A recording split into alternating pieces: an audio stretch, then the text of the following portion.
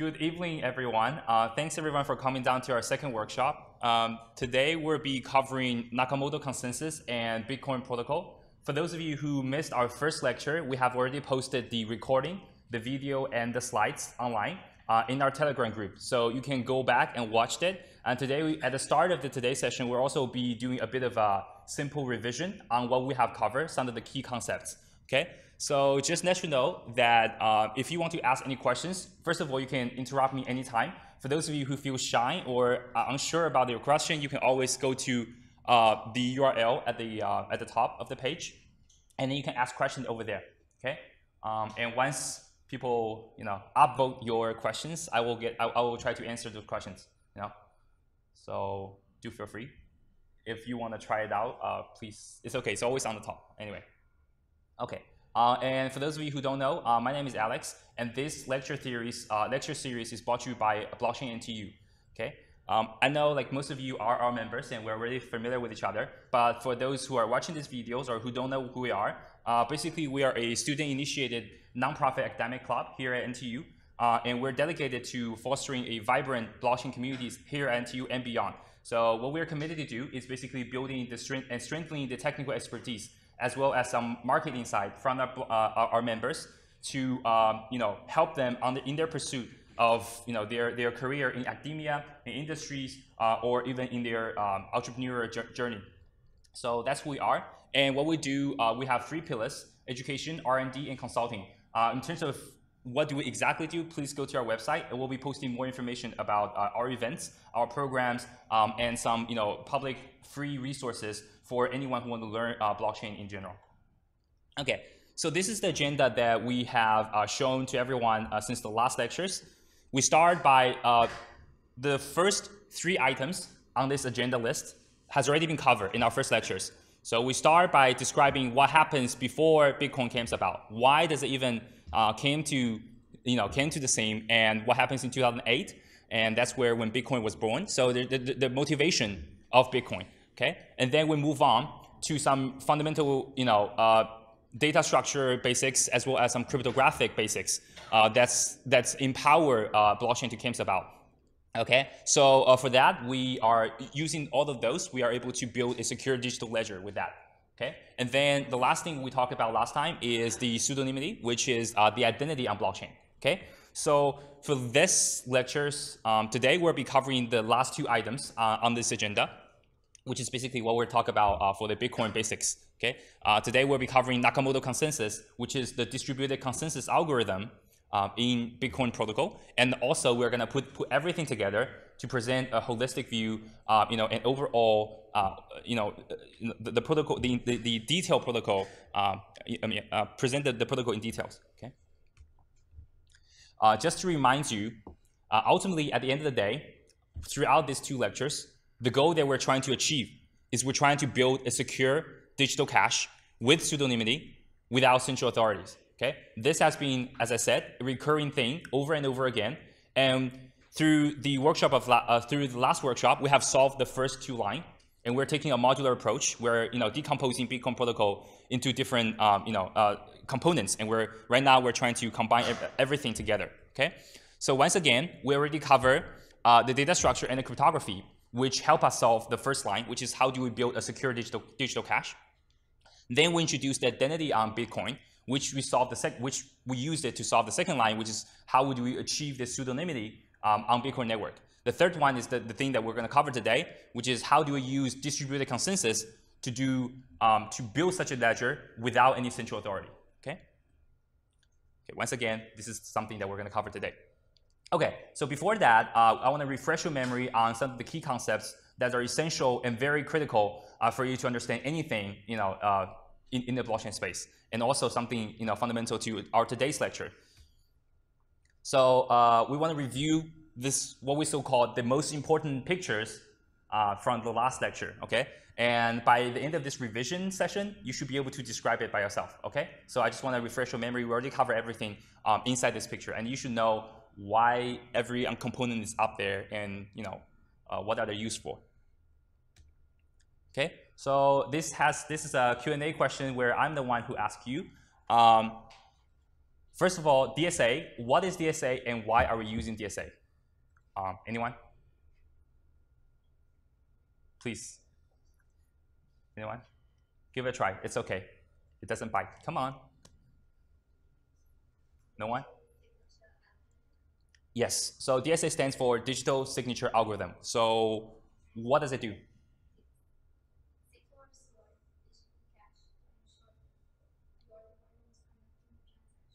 Right. Yes. Right. So uh, and yes, that's a that's a perfect answer. So uh, just to rephrase what you uh, what you just uh, answered is basically there are a pair of keys.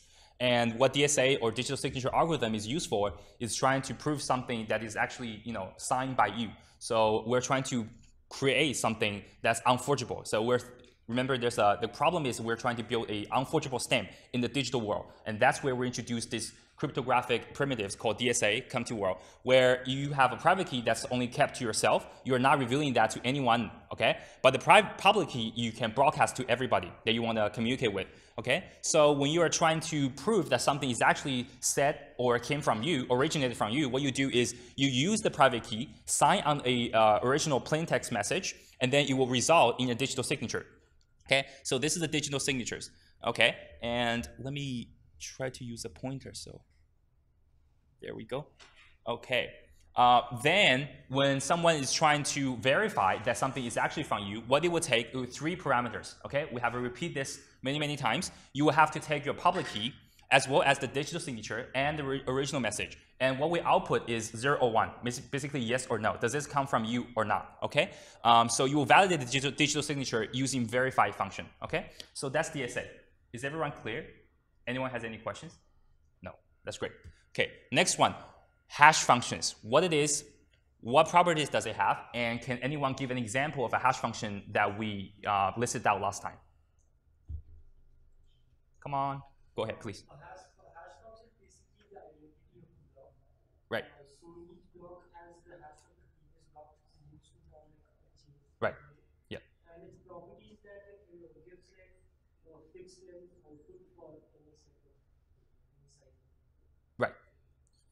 Um, can you give an example? Right. Yeah, sure. Um, that's a good answer, but not entirely correct. So it's like uh, you are describe what, what you are describing is a hash pointer. Okay, so hash function itself is basically just something. Let's say it's a it's a meat machine where you took a long plain text and you digest it to a shorter fixed length uh, digest. So the input is arbitrary length, as you said. Uh, it, it, it can use beyond just in the hash pointer data structure. It can be used somewhere else as well. So the, the point of why are we using hash function is basically we want a shorter representation of the original message, of the arbitrary length data, uh, data itself. Okay, so why do we need that? You remember the problem statements that we have last time is that we're trying to bond the coin transfer function, a coin transfer transaction with a coin creation transaction. So we want a shorter representation of the coin creation so that we have a, you know, a shorter, uh, uh, we have a bond between those, okay? So uh, like we said, this is the example that we give out, uh, which we have a arbitrarily long uh, text, and what it comes out is a fixed length digest. Okay, so what is uh, that? That is the hash function. So what property does it have? we mentioned a few, namely some of the most uh, you know, obvious and, and, and, the one that we need to remember, first of all, is that um, if you change anything, even a little bit, in the original plain text, the output, uh, the, the digest is going to be completely different. Uh, another thing is this one-wayness that we see a lot, where it's also uh, something we see in digital signature DSA, where from the public key you could not derive back to the, the, secret key. So it's the same thing here uh, in hash functions, where from the digest there's no way you can um, calculate the original plain text. Okay, but theoretically, as we said, it is theoretically possible to find collision, right? But it's just uh, probabilistically speaking, it's just astronomically impossible to find. Uh, the probability is just too small. So example, of course, we mentioned SHA-1, which is used in GitHub. Uh, SHA-256 is something that we used uh, in um, Ethereum and Bitcoin, and we also mentioned SHA-3 uh, and Keccak, um, Keccak uh, 256, which are you know two different hash functions. Okay. So the next thing is hash pointers, what and why. I think you just answered that uh, perfectly. Basically, I, I want to emphasize on why, okay? The reason why we use hash pointer, as we mentioned last time, is we're trying to solve this double spending problem, okay? The way that we solve this double spending problem is that um, we are putting the transactions in order so that we know which one came earlier, okay? So if you're trying to spend, because in digital world, you can copy that. You can copy the same digital coin however you want, right? It's just a copy paste things, okay? So in order to prevent that from spending the same coin to different people, what we do is we put into this, um, you know, ordered log so that um, when something comes later, you can see, you can always refer back, um, and there's no way you can change uh, the history without other people noticing. Okay. Next question is a slightly harder. What is UTXO? And what are some of the fields in the UTXO? Anyone?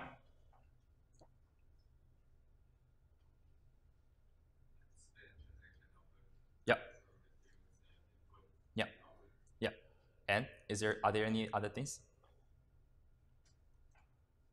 Okay, very close. Yes, so um, that is correct. So UTXO stands for unspent transaction output. Okay, so this is the data. This is the model that uh, Bitcoin uses to record any transaction. So for every transaction, you have uh, primarily, uh, primarily three fields. You have inputs and outputs and the signature from the one who's uh, from the input, uh, you know, the coin holder. Okay, so those are the three fields that you have to particularly remember, and this is very important. So let me, uh, so the way that, the analogy that we could do is this, this every transaction is like a pool of water, and you have uh, several pipelines that's funding the, the pool, and several pipelines that uh, shows you where does it direct to, okay? So uh, all the input are previous UTXO, so previous coin that hasn't been spent yet. That's why we call unspent transaction. Some transaction that hasn't been spent yet, okay? So where you, we're spending something that has been spent yet and use it to fund a new transaction, and it goes out to your new owner of this coin, or at least some denomination of this coin. Okay, so in, in this example, where we have, first of all, we have Alice transacted to Bob. So uh, first of all, they has to get the permission of Alice, and we're using DSA here, where Alice signed on this particular message saying that I'm willing to spend it to the public key of, of Bob's public key, where Bob can later on uh, sign that. Okay, so uh, and later on when Bob is trying to send it to uh, to uh, Charlie, and he's not trying to, he's not willing to spend the entire two Bitcoin uh, to Charlie. What he did is you want a, a, a bit of a ch change to yourself. And in order to do that, you just specify two outputs. One of them is your yourself, and that's how you do like a change, keep your change. Okay, so basically every transaction, in every, um, you, you can have multiple inputs and multiple outputs. Okay, so you concatenate the entire UTXO, it's gonna be a huge graph, and um, your balances, how you calculate your balances is calculate all the UTXO that is that belongs to you and you haven't spent it yet. Okay, those that's how you calculate the balance, you know, in Bitcoin. Once again, it's different from what we, you know, intuitively think that the bank are, is, is trying to do. So bank is this state model, um, which where you ask, you have a key and value pair. The key is your address or your account. The value is the balance. Okay, so it's, it's a very simple one-liner entry, whereas in the Bitcoin case, the way that you calculate your balance is different, where you have to aggregate and accumulate all of the uh, unspent transaction that belongs to you in order to get, to add them together to get your total balance. Okay, all right. So the next one is something that a lot of people, according to the feedback, because I think we're rushing a little bit uh, towards the end last uh, during our last lecture. So I think uh, maybe we need to spend some time on doing reviewing on the uh, Merkle tree. So why do we need it? What is it? And why is it useful? Anyone have can answer this question? Merkle tree, why does it why do we need it? What it is and why is it useful? Okay, so maybe I'll just answer it. Okay. So uh, visually, what you should have is, is something right here at the, uh, the right button right here. So this is something that you should always keep in mind. This is what a Merkle tree looks like, okay? So as we said, this Merkle tree, at the top of the Merkle tree is the root of the tree, okay? It's called a Merkle root. At the bottom, very bottom, is a so-called leaves, okay? These are the leaves. It's a perfect analogy of the real tree in our real life, okay? So the leaf node, the value of the leaf node is the hash digest of the, the actual transaction. Okay, so the actual transaction is a plain text that has many, many other information. It can have, uh, it's, it's sent from someone, it's gonna to someone, it's, there's gonna be amount, uh, there's gonna be, for example, timestamp, there's gonna be maybe extra information.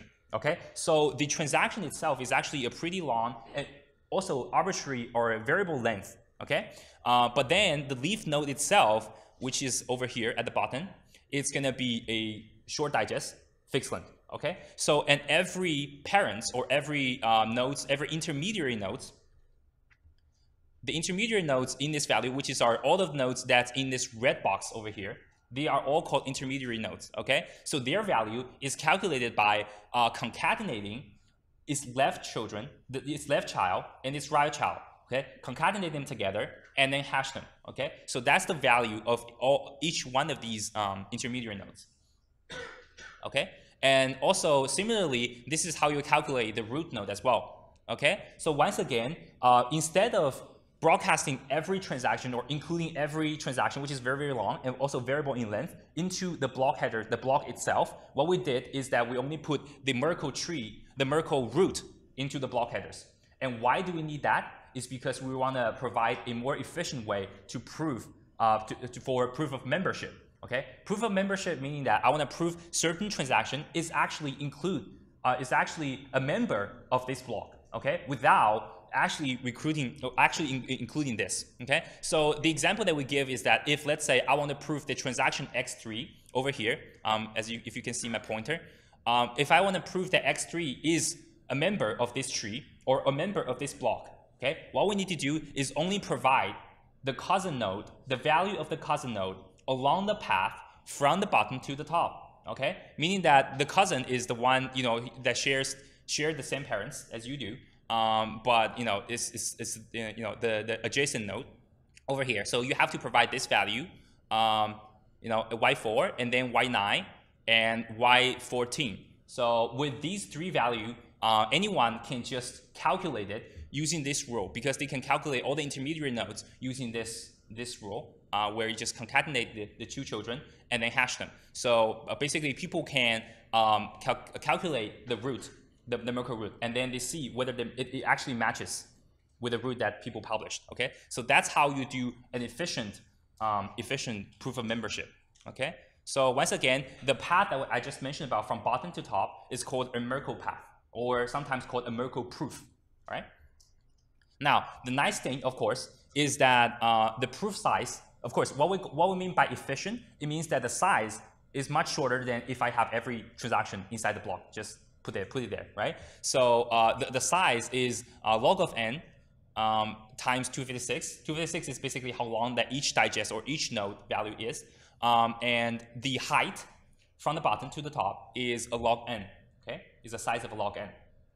Hope everyone see that. If you have three layers, then you have 2 to the power of 3, which is 8 nodes. So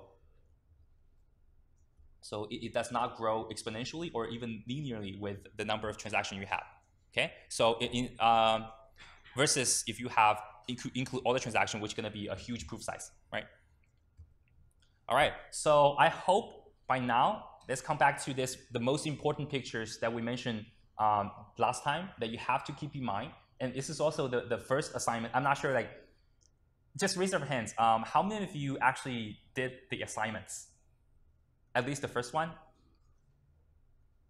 Okay, that's great. Uh, who did the reading? The second one. Awesome. Anyone think of anyone think of the third questions? How do you prove proof of non-membership? Okay, that's all right. So um, I'm still glad that you know uh, some of you have already done the first two, uh, the reading as well as the, the, the self-description of this, this, graph, because this is super important. So let me probably just quickly go through once again, uh, because we have already refreshed your memory on all the basics, okay? So uh, when we, people are talking about blockchain, they are talking about this chain at the top, okay? So these are what, what's being actually uh, recorded. And also, of course, I mean, everything, all the transactions are of being re recorded. But at the same time, within the block header itself, you have, first of all, previous hash, which is constitute the uh, hash pointers, okay, that refers to the previous block, okay? So you want to indicate this is my parents, not anyone else. I want a short representative, a short representation of my parents, okay? Then there, there is a timestamp, which is basically uh, when this block is being produced, So um, at least it gives an idea of like uh, who came first. As long as this timestamp is like bigger than the previous one, it should be considered as a legit one. Okay. Uh, then the next one is the nonce. Uh, the nonce I will be introducing in this lecture, what it does and why does it even exist there. And the, the, the last one is the transaction root or the Merkle root of um, which consists of all the transaction which is the, uh, for, for, for, the transaction tree over here. And at the very bottom, every transaction basically looks like the UTXO model. I hope this visual representation really gives you a, a, good idea of how does it look like, and you can probably describe to even a 10 years old what blockchain is at this point. You know. Okay, great. So uh, some of the properties that with this up until now, that the, the, the current blockchain that we have or the data structure that we have that can provide. Okay, I want to I want to point out four points. The first is uh, non-repudiation. So what does it mean? Is that if you broadcast or your transaction or something you said has been included in the past in the history, there is no way you can repudiate, meaning deny that you didn't say something because everyone has that kind of data and they can trace back to the history and check. So, and also um, th there's no one, no other people can forge your signatures. That's one of the reasons it's non-repudiation. Okay, you said something, it has to be said on, it has to be originated from you because only you have the private key. Okay, so that's the first property. The second property is that tamper evident.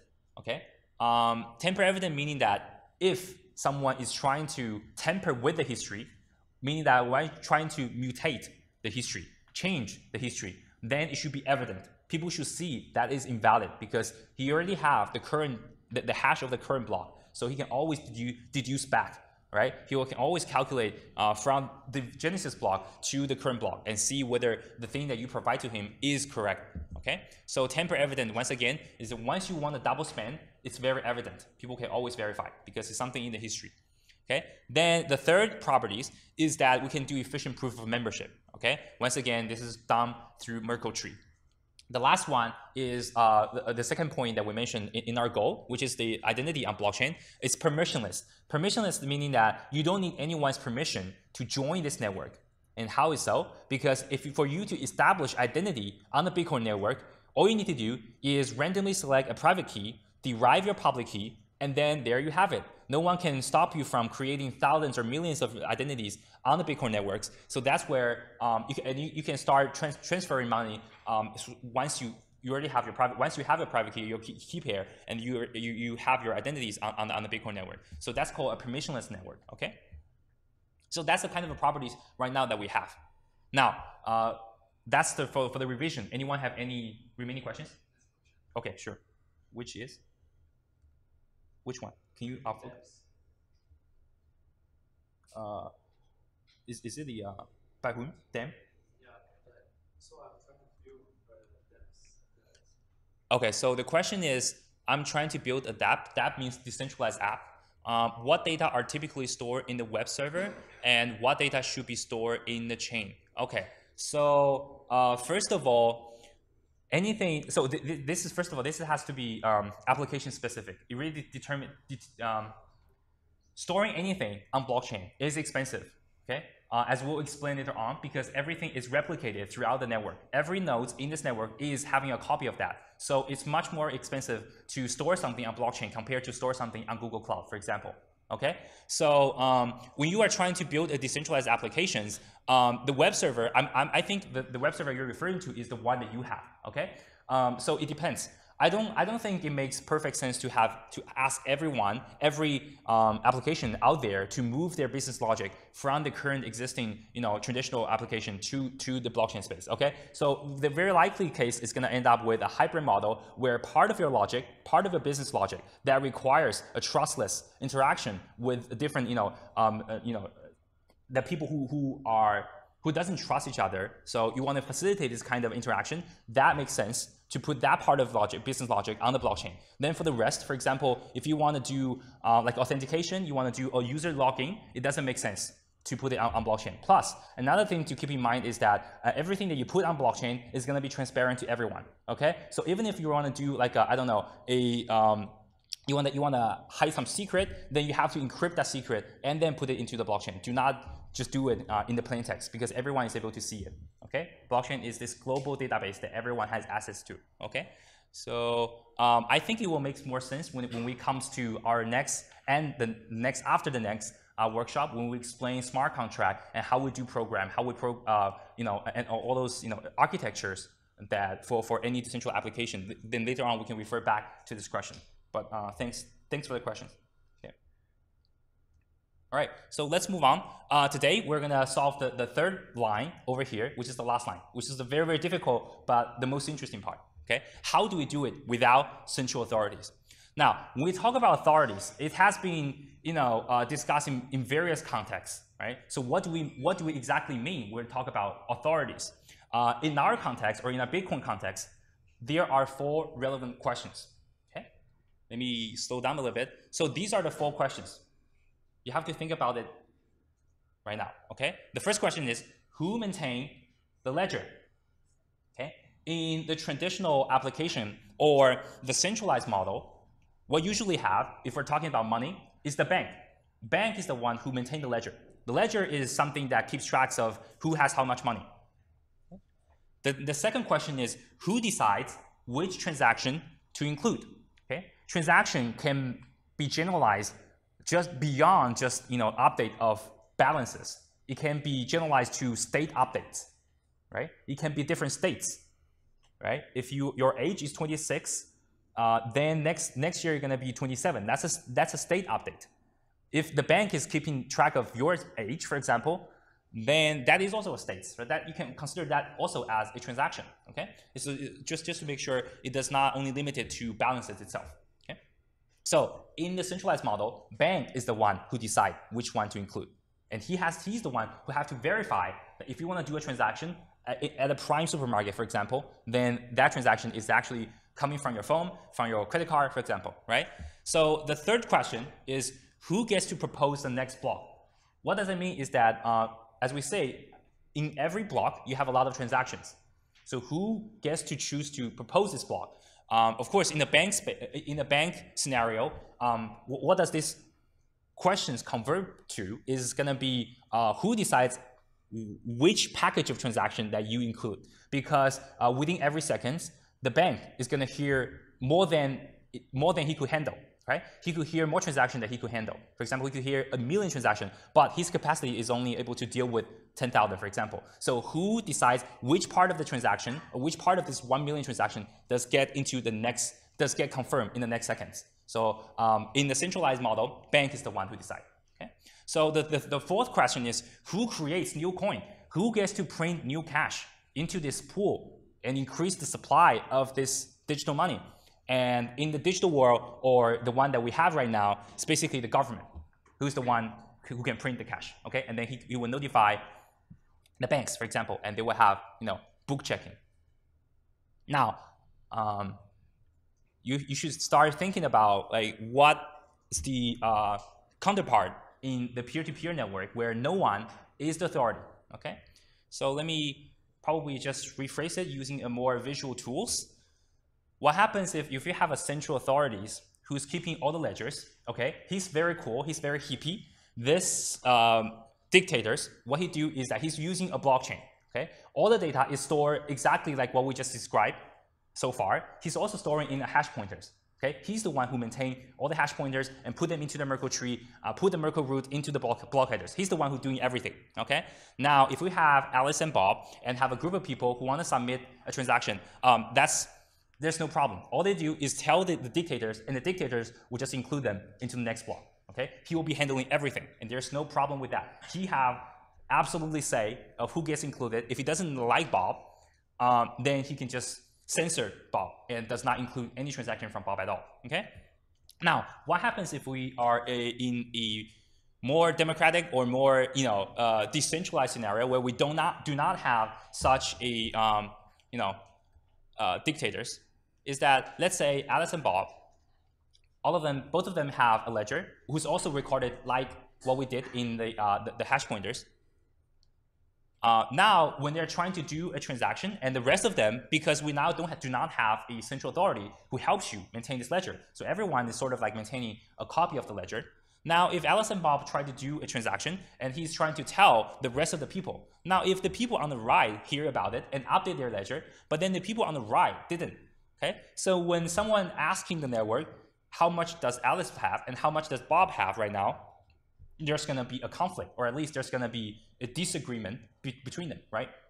So that's the problem that we're trying essentially trying to achieve here, where if you ask a, a group of people, uh, they can give you a different answers right? So they sort of they have to come to agreements of what is uh, the canonical idea. So uh, what is the right history right there, right? If they have different answers, who is the answer that I should take, right? So that's what this uh, distributed consensus is trying to do, right? The reason why we call it distributed consensus is because all of these nodes are distributed either geographically or logically, okay? Logically meaning um, on a network topology point of view, um, you are not centralized or controlled by anyone, so you're sort of distributed uh, all over the place. Okay, so a group of nodes coming to consensus. So just before uh, describing what actually happens, let me introduce some rules, uh, uh the, the, the, rules that people play in Bitcoin. Uh, because compared to the traditional sense where you have di dictators and the users, the rules are pretty simple. There are only two rules. The one who provides the service and the one who enjoy the service. Okay? The one who provides the services is going to maintain the ledger, decide which to include. The one who, who uh, enjoy the service is going to be, be the one who broadcasts the transaction and just wait until the dictators take his transaction in. Okay? So what happens, uh, what's under the rules in Bitcoin? The first is called a miner. Okay? The miner has basically uh, three, uh, two jobs. Okay? The first thing is that uh, he is the one who maintains the ledger. Okay? He's the one who maintained the ledger. Now, miner is not one person. Anyone can become a miner. Okay? Uh, so if you want to become miners, the duty for you is that you have to maintain this ledger and you have to verify the incoming transaction, whether they have valid signatures from the right from the righteous uh, owner, you know, from the rightful owner. Okay, so uh, that's the first job for miners. The second one is that he is possibly became the block producer. Okay, once you verify that transaction, because anyone can become a, a miner, right? So everyone has a block that he's trying to he's he's building. So who gets to propose a new block, right? So some of the lucky dogs um, who you know among this miners pool is gonna be lucky drawn out, and then gets to propose a new block. All right. So that's the first rule. Uh, first rule. Uh, don't worry if you still have some confusion because we'll be covering, um, explaining in more detail what they do later on. The next one is full node. Okay, full node is a superset of miners. When you became a full node, you can you can choose to become a miner or not a miner. Okay, miner or not a miner, basically. Uh, so what full node means, you can just think of it as someone who has all the knowledge. What he do is he's a ledger maintainer. What does that mean is that he has all the data but he does not mine the next block, meaning that he does not do all the work to try to verify the transaction or try to produce the next, next block. He does not do any of that. Okay? What he chooses to do is just to have the entire history, have the entire data of the blockchain. Do anyone have any question on that? Can you see why a full, full node is a superset of, of miner? So first of all, you have to choose to become a full node, which you synced up with all the entire history and you just right now you're just maintaining this ledger. And if you want to do a little bit more, you can opt in to become a miner, where you are actively verifying the transaction and trying to find the next block. Okay, great. So the next one uh, is less relevant in our uh, in today's talk. It's going to be a light node. Light node are those who are also only a ledger maintainer, but then he has less information. So in a sense, he does not have anything at the bottom, where which I mean by which I mean the Merkle tree. All he has is the actual chain itself. He only have a chain of head blockers. Oh, sorry, block headers. Sorry, he only have a chain of block headers. He does not have anything below, which is the Merkle tree. As I said, that's the most important picture you have in your mind. And you should always visualize when I talk about blockchain. You should always have that that picture in your mind. Okay. So um, anyway, so he only stored the block headers, not the entire block. Entire block meaning all the transaction within that block. Okay, so um, I will be explaining later on uh, why do we need light nodes uh, in future in future episodes. Then the last one is of course the users, which is you and me and most people in the network. what they do is that they do not have any of the duties that I mentioned above. All they need to do is connect to the network, identify a few full nodes or miners. What they do is just send transaction. I want to do. I want to send this coin to someone. I just broadcast this transaction. I sign it. Of course, I have to sign it first. Send it to someone and tell the miners to put it into the next block. Okay. So these are the four uh, roles that we have in Bitcoin. Do anyone have any questions? Okay. Great. So, uh, okay, one more point is that when user is trying to know how much he has, what he does it do, because user doesn't keep, a, usually, user doesn't keep uh, the entire history of the, of the blockchain, which is pretty probably uh, huge in, in, storage. So what they do is you just ask, query the, the, the, history and the balance from the full node, because full node has the entire history, as I said. He is the one who's maintaining this ledger. Okay, so now, uh, before we explain, yeah, go ahead. Yeah, great. So is is it, uh, wait.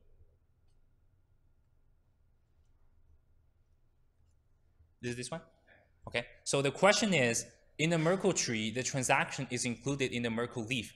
Is the transaction from, is the transaction from the creation of blockchain? Oh, okay. Wait, wait. Included in the Merkle is the transaction from the creation of blockchain or the transaction on that block only. Um, okay. So as I said, the transaction is basically have inputs and outputs, right? So um, the inputs is basically something that you haven't spent yet. So what's being included in that particular block is what transaction that happens from the last block to until this point. Does that make sense? Or did I interpret this question correctly? Because I don't, I'm not 100% sure. I, I transaction from the creation of the blockchain. Um, or, oh, okay, I think I think the question is like, how big is the tree? Is the tree, uh, it, because we already have some transaction in the previous block, are we appending new transaction in that tree or are we creating a new tree? I think that's the question. Um, yes, okay, yes, right. So uh, just, just to repeat the question a little bit for those who haven't uh, get the idea. So the question is being, uh, being asked is basically asking whether, because we have a Merkle tree, a transaction tree in each block, okay, are we appending new transaction to the already huge uh, Merkle tree, or are we creating a new one for each block? Okay, so the question, uh, the, the answer is we're creating a new one for each block. Yes, we're creating a new one for each block. Uh, but once again, how you calculate your balances is basically you have to traverse all the way back to calculate all the the, the transaction uh, the transaction tree and see which one do you have. Does that make sense? Okay, so it's a, it's a new transaction. Uh, it's a new transaction tree each uh, for each block. Great question. That's a great question. Okay, so uh, back to our slides. Uh, for our case, or the Bitcoin case, the peer-to-peer -peer network, who maintain the ledger? Full node maintain the ledger. Once again, full node can be miners or not. Okay, uh, who decides which transaction to include? Any individual miners has the right to to include partial of the transaction that he heard he hear from. Okay. Um, once again, he definitely hear more than he could include, but he has the liberty to choose which to to, to include from. And this is something that will be gonna, gonna be an, uh, analyzed later on in terms of security of Nakamoto consensus and why um, that is the case and that makes sense. Okay. Because uh, on the surface, I mean, it doesn't make much sense because you if you have a liberty to choose anyone you want to include, uh, wouldn't that be a chaos? Okay uh, how do we even agree on that, right? So we'll be analyzing that later on. The next question is who gets to propose the next block? And also the fourth question is who gets to create new coins? And both of these, the answer to both of these questions is going to be hard-working miner. Okay? What do I mean by hardworking? I'll explain a little bit. But that's the general idea. And we'll, we'll go back to the slides at the end of Nakamoto consensus. Okay? Sorry, what? Yes, so hierarchy mi uh, miners, meaning that not every miner is able to produce the next block. Not every miner is able to print new cash. Only those who has done some work. Okay, so you have to prove your loyalty and dedication and determination. And how do we do that? Is through Nakamoto consensus, which will be explained in detail. What do I mean by hardworking? Okay, and how hard do you have to work? Okay, so this is a consensus. Don't bother even read the, uh, uh, the slides. I'll go through one line by one line. So there are going to be five steps in terms of reaching a consensus in Bitcoin, okay?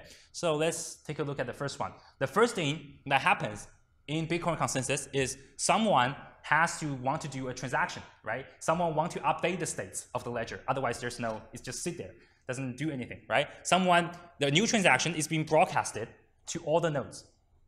Um, and pay attention gradually, okay? Well, visually what this says is that, for example, this lazy guy, which is the user who doesn't basically doesn't do anything at all, all he does is broadcast and tell the rest of you, hey, help me update the states, okay? So what it says is a transaction. The transaction has, like I said, many, many, many fields. It can include the inputs, which is some UTXO that he owns. I hope at, at this point, most of you already knew what UTXO is. Okay, and then he's referring to uh, in block number 20, index number four, uh, this is the UTXO that's spent to him that he is able to spend, okay? And he hasn't spent this yet.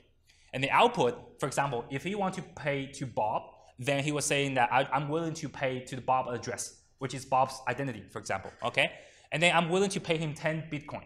This is the amount.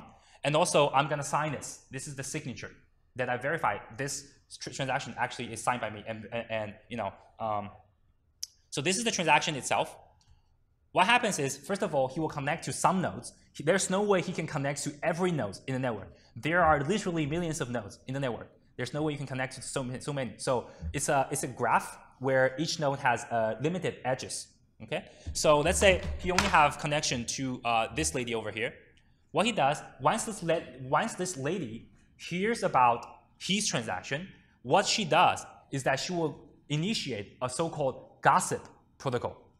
Okay, gossip protocol by its name, you already knew that he she's trying to gossip this uh, or meaning broadcasting or multicasting this transaction, and she tell everyone all the nodes that she connected to, so on and so forth. So she tell some of his friends, and some of the friends will tell the rest of the network.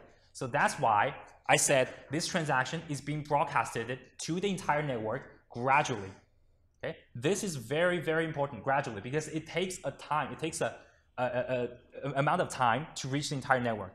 And there are some um, researchers who's, you know, who can, some, even hackers can exploit this. And this is where, um, you know, when we later on refer to the forks in Bitcoin can happen during this time and I'll explain a little bit why. So just right now, all you need to remember is that it takes a, a certain amount of time for you, for the, the entire network to know any, any information, okay? So that's the first step. Anyone has any question with the first step? No, okay. So the second step is that the miner is gonna collect all the transactions because it's not just Alice, the drunk Alice sending the transaction. There are some other, you know, drunk Bob and drunk Charlie, right? Who are, they are all sending transactions. So when miners hear all of these transactions, what he will do, he or she will do, is that she will collect all the transactions, verify each one of them, and then put them into a Merkle tree, calculate the Merkle root, and then put them into the next block, into the next block, okay? So this block right now is only known to him. He's trying to build the next block, meaning that he has to verify everything, put them into the Merkle tree, calculate everything. So that's something, it's called building a block. This is something that gonna costing some electricity. You have to run a program on your computer. So it's something you're building, you're mining the next block. Okay. So once again, visually, what this miner does, for example, if this miner is this uh, this miner over here, first of all, uh, remember this guy broadcast transaction, so he will include everything uh, and, and build this Merkle, Merkle tree, put this Merkle root, trying to produce this block number 11. That's what he did. That's what he does. Okay. Anyone with the anyone has any question with the second one? Second step? No. Great. So let's move on to the third step. So the third step is that each round, by which by which I mean is that each from so round meaning that um, the time interval between two blocks. The moment from the last block is found till this point. Okay, so each round, one random lucky miner will get to propose it's his block. Okay, so why do we need this? I want to explain why before we go. Because right now, we don't have any central authority. Now, no one has the absolute say that I should be the one, I'm the miner, okay? Why should I be the one to get to propose a new block? Everyone is validating it. I don't have an absolute say. I'm not the central authority. So we have to have come up a way of a fair lucky draw. So, and this lucky draw has to be random enough so that everyone is willing to join or miners is willing to contribute to verifying the, the, the, transaction and, and doing all the work. Okay? So this random, this, this process of choosing a random node is called proof of work. Okay? The reason why it's called proof of work is because that you have to do some work and you will have a proof that you can convey or convince other people that you've done some work. And once you've done that, other people will accept your block. Okay? Let me explain in a little bit of detail. So the idea is that since there's no central authorities, so what criteria do we based on to choose this random or lucky dog? We have to choose something that no one can centralize or no one can monopolize. So we want something that's non-monopolizable. I'm not sure it's even a word, but anyway, pretend that there is. So something that you couldn't monopolize, and, and these resources is going to be computational power. So the assumption of the security of the Bitcoin or this Nakamoto consensus is that no one has all the computational power in the world. No one can run all the electricity in the world. So that's kind of the, the idea. So um, when we say proof of work, uh, what kind of work are people doing? Are the miner doing?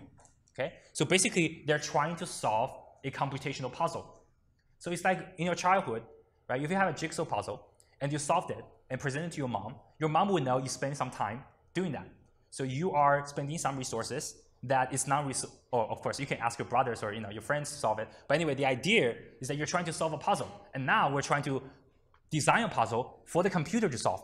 Now, this puzzle cannot be deterministically or quickly calculated. It has to take some time. Otherwise, anyone who run a program or who, who can just think of an algorithm to solve this puzzle, we're gonna immediately solve it, and that's not fair right? So what we want is something that the computer could not know in advance. He does not know the answer until he finds it. There's no deterministic um, algorithm for you to solve that, that puzzles efficiently. You have to do, um, you know, manually and very, very, like, you have to work very, very hard towards that, okay? So the, the exact puzzle is this. Remember there's a nonce in the block headers that we mentioned, and we haven't explained what it is? Okay, so now the, the, the, computational puzzle itself is that you're basically concatenating everything in the block headers. You're concatenating everything in the block headers, all the fields, the previous hash, the timestamp, the Merkle, uh, the, the, the, transaction Merkle root, plus a nonce, and concatenate them together to get a hash. What this nonce is, you can think of it as an incre incremental counter, or you can uh, sometimes in cryptography it's called a salt right? The, the thing that you actually use in, when you're cooking, the salt or nonce. So what this nonce is, is just a random number. You can choose it however you want. And how most people are choosing it is like start from any random number and increment it one at a time, okay? So you basically trial and error. I don't know which nonce will give me the right digest. I don't know which, because as we said, this is the property that we just reviewed, right? The property of hash function is that I already knew something, the, the result I want to get, but I don't know the pre-image or the actual original input. Okay, so I have to try a lot, many, many, many times until I find the right nonce. Okay, let me explain the difficulty level. Difficulty level means, in Bitcoin case, how many pre, um, how many zeros do you have at the front of this digest? Okay, so as I said, each digest is a hex string. Hex string meaning that each character is a uh, is from zero to f, right? It's a hexadecimal, you know, character from zero to f. Now, difficulty level means that it has to satisfy some criteria. Excuse me. The criteria is that the first, for example, 20 bits has to be zero. Okay. Let me give you an example.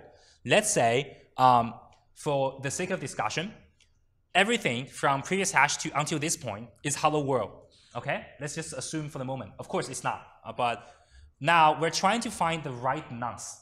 Okay, every time I I concatenate them together and I do a hash, I'll get a hash digest.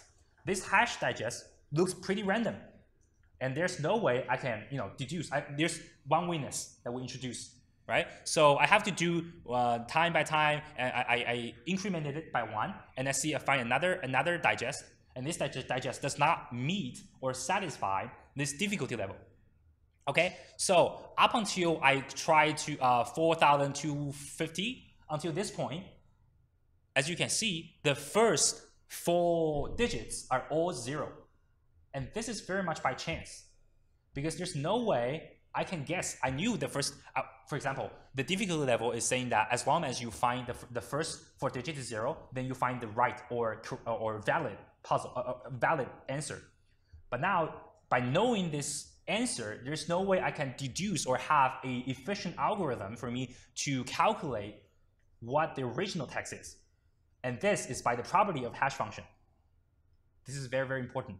Do everyone see the point where there's no way I can have a, a, a algorithm to deduce what's what, what the actual nonce were gonna be? It has to you has to try and error, try and error until you meet something that you actually find that meets the difficulty level.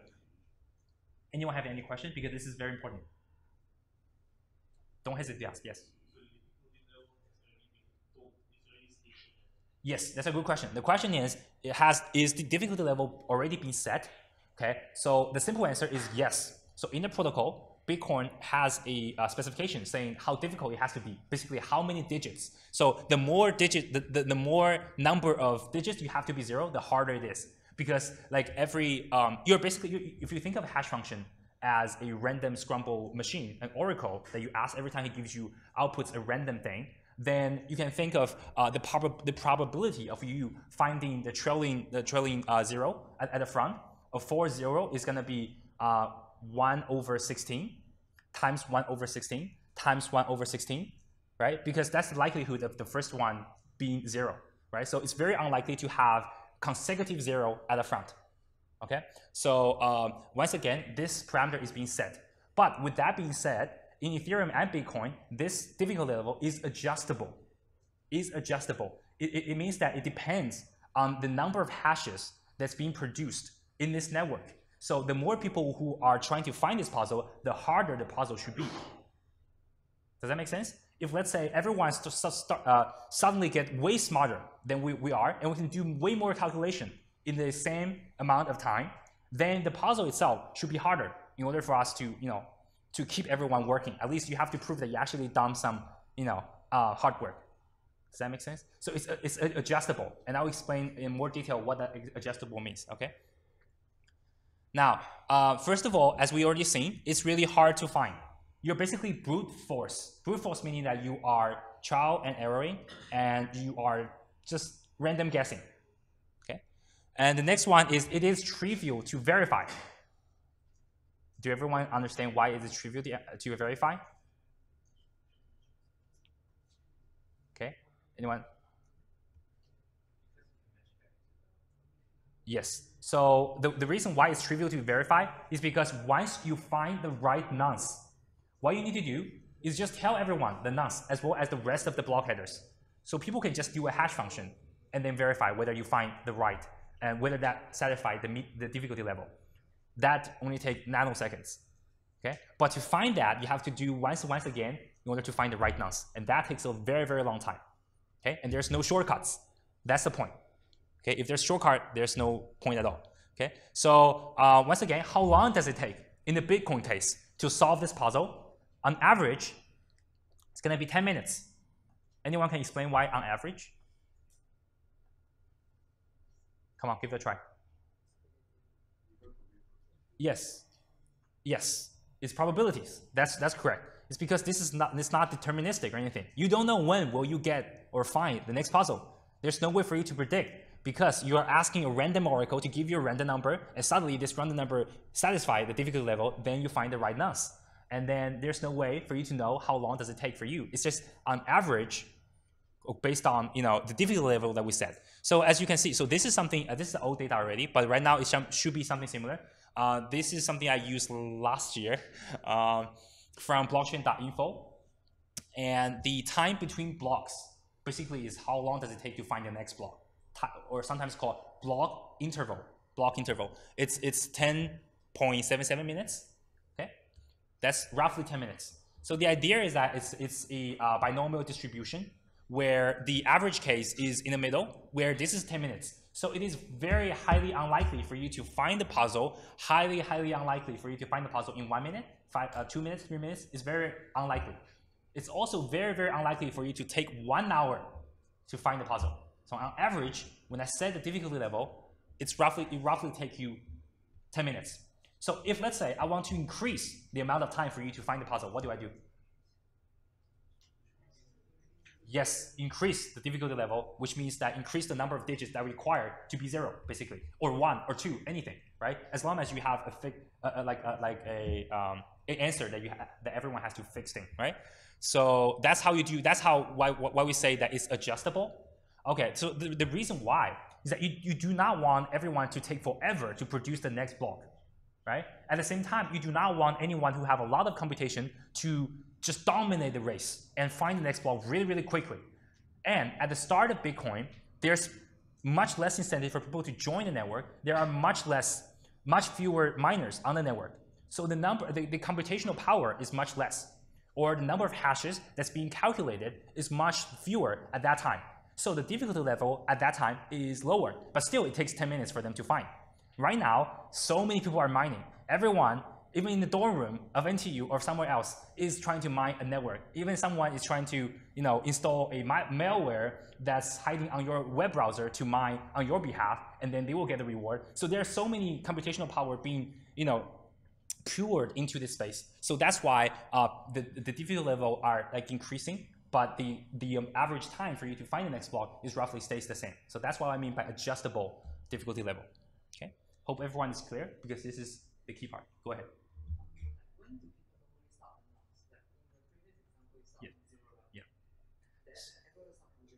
That's a that's a very very good question. So are you? At, yeah.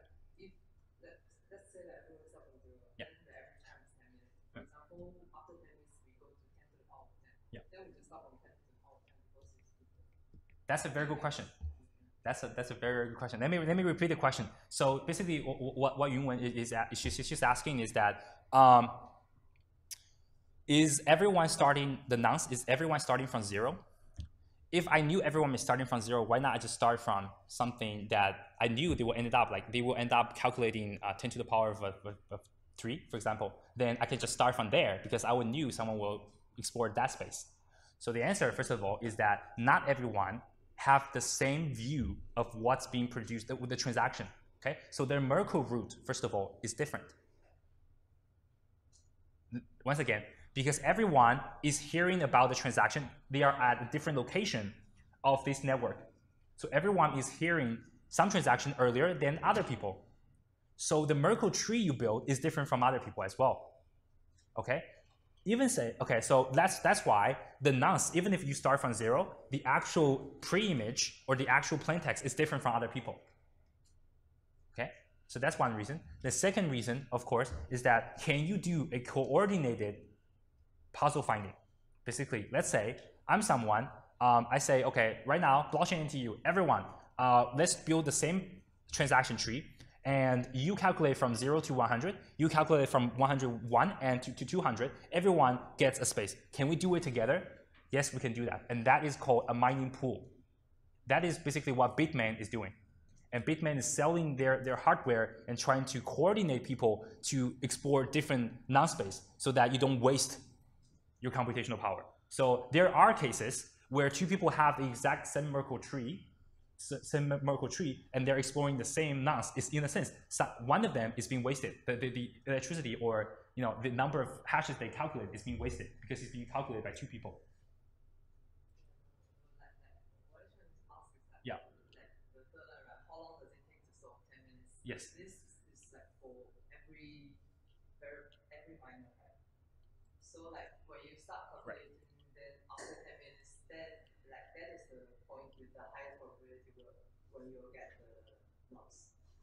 the, no, so no, no, wait. That's a very question. Okay, so the question is, is it correct to say that after 10 minutes is the highest probability that you will calculate the, uh, uh, the, the nonce? The answer is no. It's the network who will produce the block. It might not be you, but it's the network. Okay, it can, it can be from somewhere else. Okay, so it takes a network an average of 10 minutes to find a block, not a single node. For example, if a single node, you only have 0.0001% of the total computational power, it may take you a thousand years to find a block. But for the network as a whole, we're computing, we're aggregating everyone's computational together. Everyone is trying to find its nonce, and it takes on average the entire network 10 minutes. Even if you didn't find it, someone else find it, and will tell you the next what the next block is. That's a very very good question. Um, yeah, go ahead.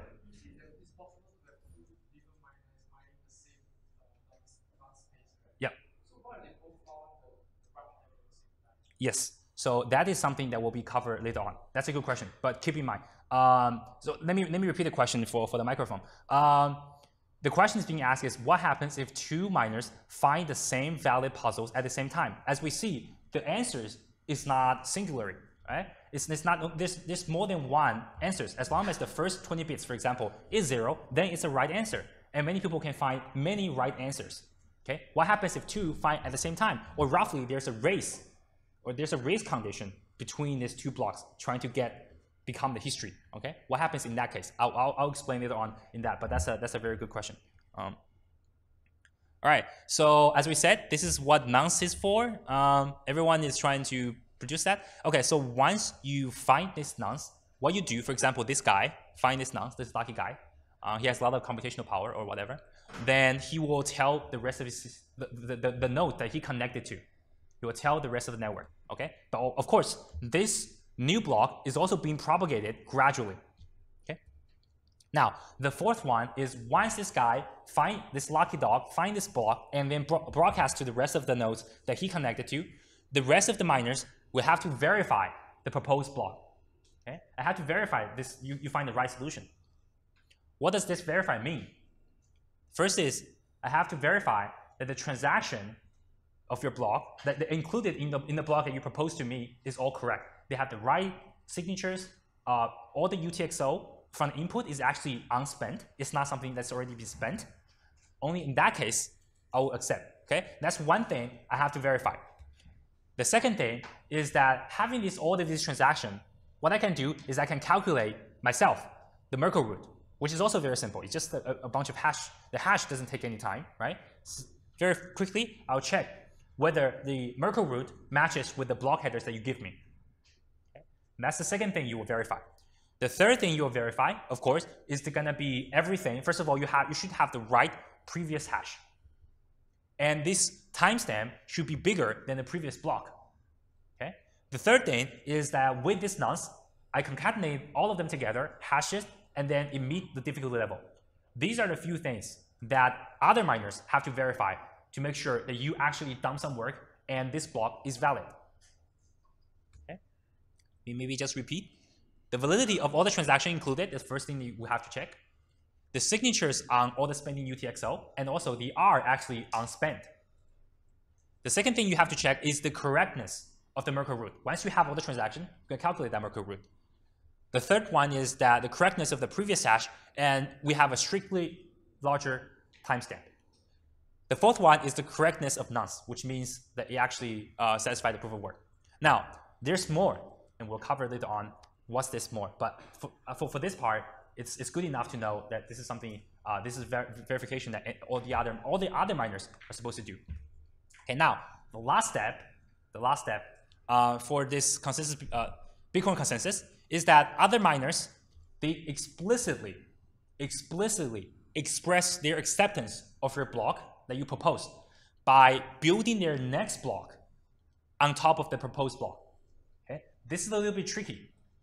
And let me explain in detail what do I mean by that. Sorry. So when you broadcast to this, this block, you may think people should give an acknowledgement or refer you back telling you that I'm going to accept this block. And that is not happening in Bitcoin case. In Bitcoin case, the way they express that they, their acceptance of a block is that they continue building their next block right at the moment that they receive your block. Okay, I'll explain why this is secure in a little bit and what happens if he doesn't accept or, or continue building his own block, for example. Okay, this is very, very interesting. But for now, just remember, uh, once he want to accept your block, then he just continue building the next block, which means that he will receive a new transaction trying to put the, the block with uh, uh, a block height plus one on top of your block, okay? So you may ask, so what is the consensus? At the end of these five steps, it doesn't seem that everyone is like voting or we know like which one is the biggest one. Or sorry, which one is the, the history, which, which block is legit. And as um, uh, Darius mentioned, that there might be even two valid solutions. Okay, what happens in that case? And in Nakamoto consensus, the longest chain wins. So that is the consensus. And it is a little bit tricky. It's very different from the traditional voting scene where we know explicitly who win the votes, who win the election. Because everyone expressing their vote, everyone can see the result.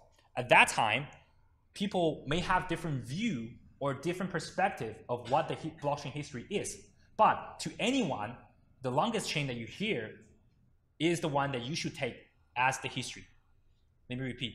The longest chain that you know of that some full node tells you should be the one that you take as the right history. Okay? So maybe if you ask different full nodes, different full nodes will give you different length or different blockchain. For example, in this case, this drunk user is trying to ask this first one. The first one tells you, now I have block until block number 12.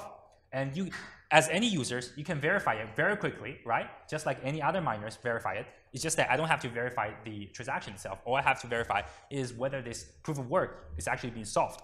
Now, if I ask another miners, sorry, excuse me, on the network, she tell me that the, the current block is block number 11. Okay, both of them are correct in the sense that block headers are correct. It's just that this chain is longer. So as a user, how should I take, what, what's the consensus that I should take for the network is that I think this is going to be the history. This is the chain that I take. So remember, longest chain wins. Longest chain wins. And I'll explain why that's secure uh, in our analysis later on. Okay? Anyone has any question? Go ahead. Mm -hmm. So if you ask different nodes and they give you different length, uh, so does it mean that you have to check every node on which one has the longest?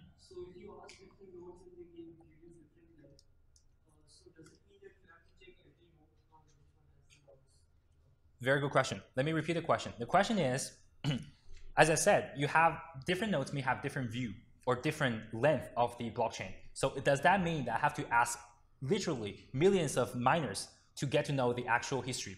The answer is no, because um, when you when someone find a block, he's broadcasting that to the rest of the network. Although it takes a while for the block to reach the rest of the network, it only takes roughly, let's say 10, 10 seconds to 20 seconds.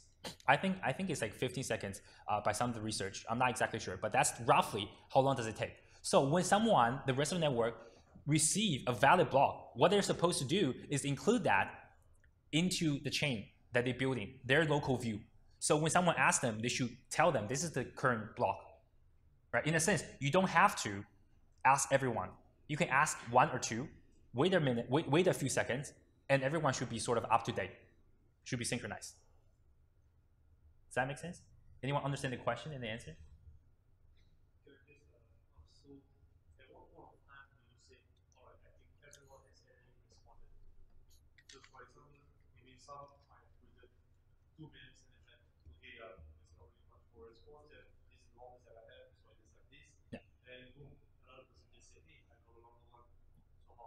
Yes. So once you hear, okay, so let's say you are offline for a while, let's say, and you didn't hear from the rest of the network. Okay, so your, your chain stop at block 10.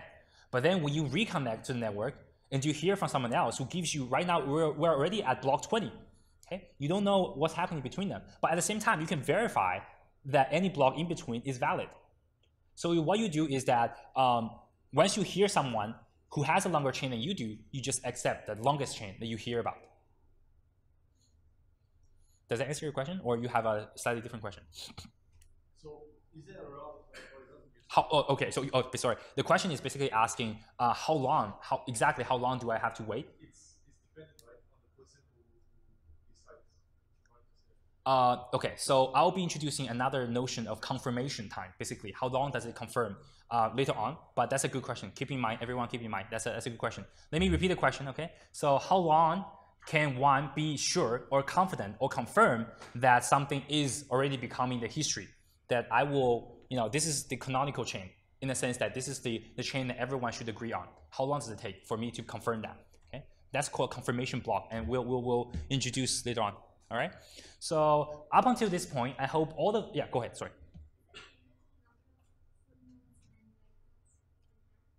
No, So first of all, for you to become to have identity on Bitcoin is permissionless, meaning you can do as many as you want. For you to become a miners or full node, all you need to do is just sync up with the rest of the network. So that also is permissionless. In a sense, you can have as many miners as possible, as you can, as you wish, basically. So there's no limits on how many miners or how many uh, full nodes that you want uh, on the network. Yeah. Okay. So Nakamoto consensus. First of all, this guy really is. His name is Nakamoto consensus. Oh, sorry, Nak uh, Satoshi Nakamoto. sorry, my bad. I was drunk. I was the drunk user.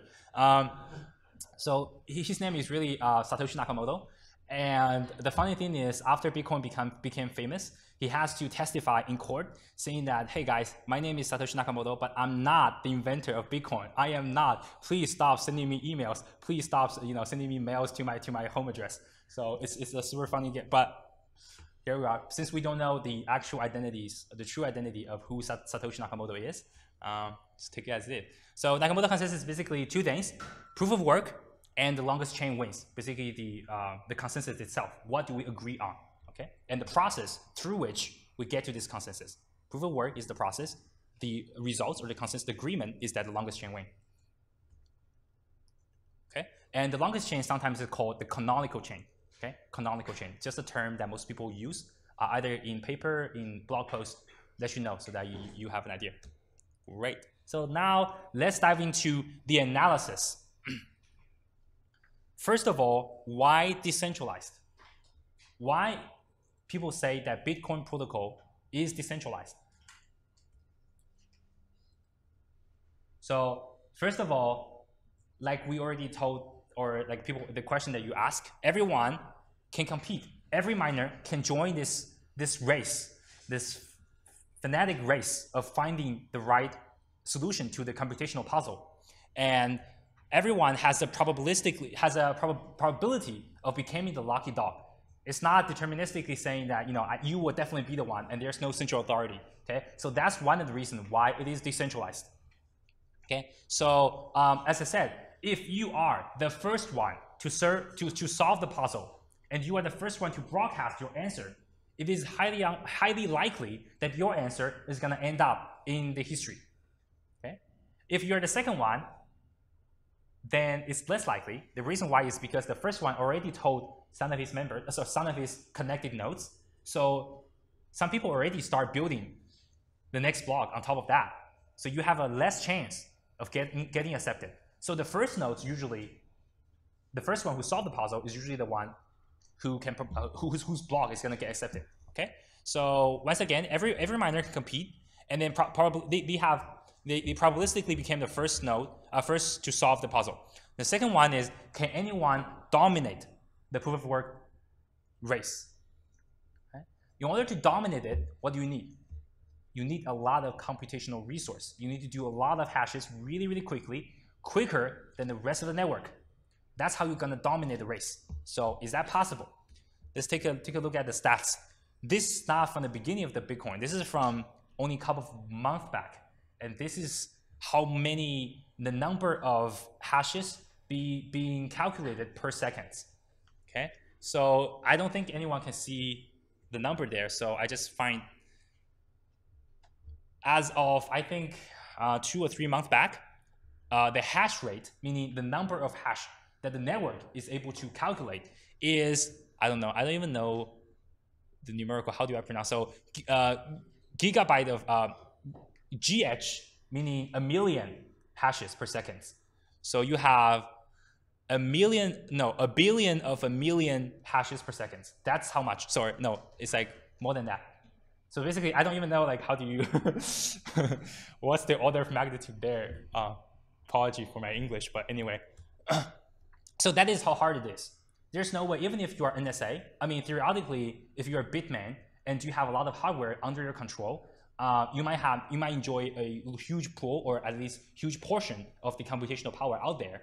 Uh, but still, it's really hard to dominate any so so many hashes, right? You can only you know you're just a small pie over there. Okay. Now, speaking of this, the next natural question is: since it is so hard to find the next puzzles, what are some incentive? Why people are spending so much money, so many electricity, so much electricities and spending my hardware, my CPU, I even buying new computers or even new server GPU to do this, you know, uh, Bitcoin mining, trying to find the next block. So what are some of the incentive for the miners to do this work? Okay, that's the natural question that we ask, right? Since we, we saw it's so hard and takes so many work. The first is block reward. What block reward is basically saying, once you find the next block, you should get rewarded. Why? Because you've done some work. You've done some good work to the communities. Okay, what you do is that the Bitcoin protocol allows the miner, the one who mined the block, to include one coin creation transaction into that new block that you find. Okay? Once again, so when you are hearing a lot of transaction, you're trying to produce the, the, the next block, what you do on top of including other people's transaction, you will include one transaction of your own. And this transaction is called coin creation transaction. What does that mean? You're minting Bitcoin out of thin air. And why do everyone agree that you can get this, this, this Bitcoin sort of like for free? Essentially, you're not doing it for free because you, you are spending a lot of electricity on this. Okay? It's because people will agree that you've done some work and that deserves some reward. Okay? So that's the block reward, which is one of the biggest uh, incentive for most of the miners who are trying to mine. So then we go back to the fourth step where I said there's many more that other people should verify. And there's one item more right now, which is you have to verify the guy has included a coin creation, the right coin creation transaction into that block. Meaning that he could not create more than he should. He could not create less. Of course, I don't think if he create less, actually I don't know like what would happen. But like from the miner doesn't have the incentive to give yourself less money, right? So I, I don't think that would ever happen. But the idea is that other people will verify that you are not, you know, allocating more uh, Bitcoin to yourself out of thin air. Okay. So how much do I get exactly? Uh, right now, at this point of time, uh, if you find the next block, you are getting 12.5 Bitcoin per block you find.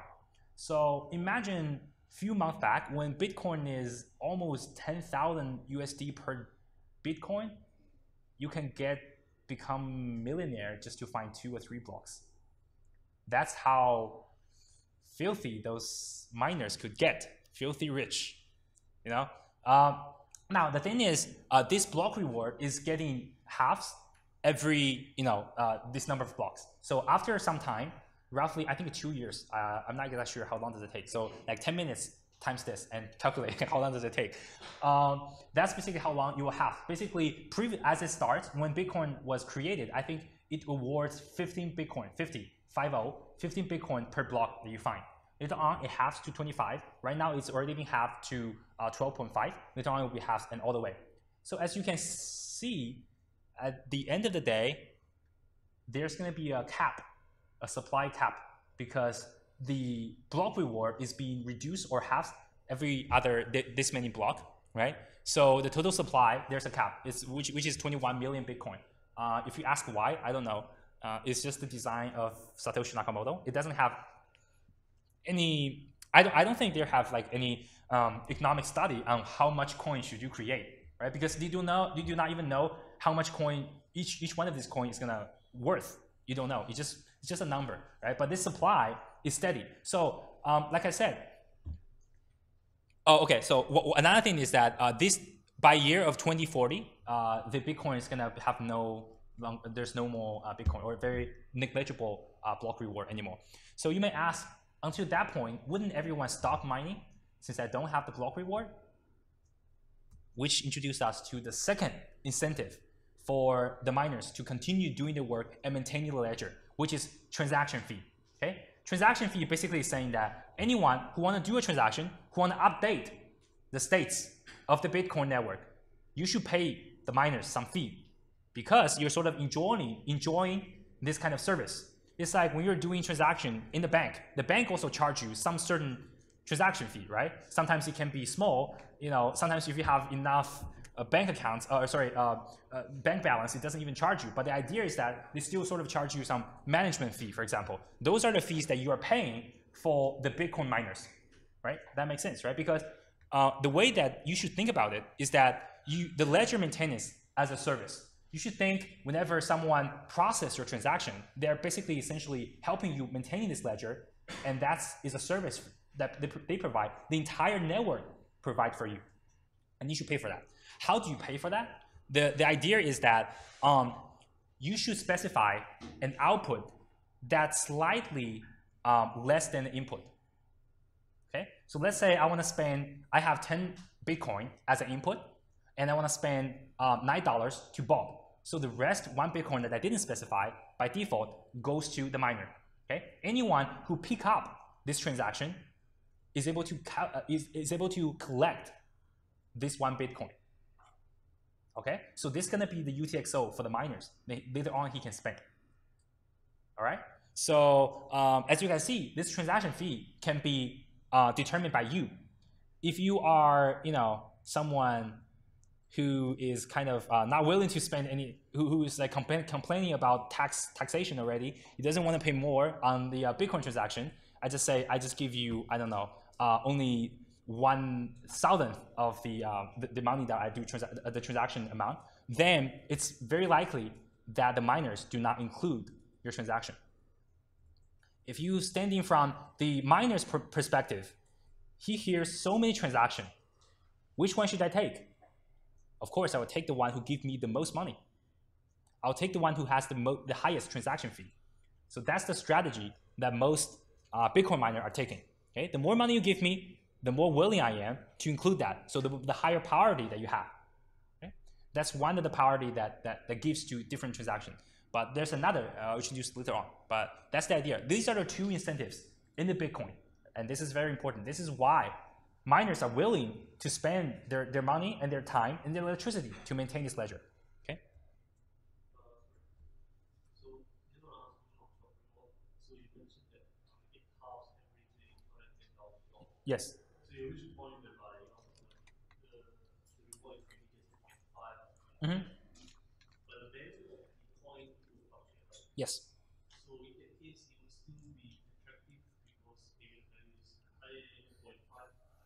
Yes. Yes. So the, the question is, even if the, the number of Bitcoin that's being rewarded in the block reward is having like every other so many blocks, uh, the value of each coin itself is never specified, and you never know. It's determined by the market how willing people are in paying this this, this Bitcoin, and that is correct. If, even if let's say uh, after a few, uh, two years uh, we are reduced back to 6.25 Bitcoin, um, that might even worth more than what we have right now with 12.5 Bitcoin. That is correct.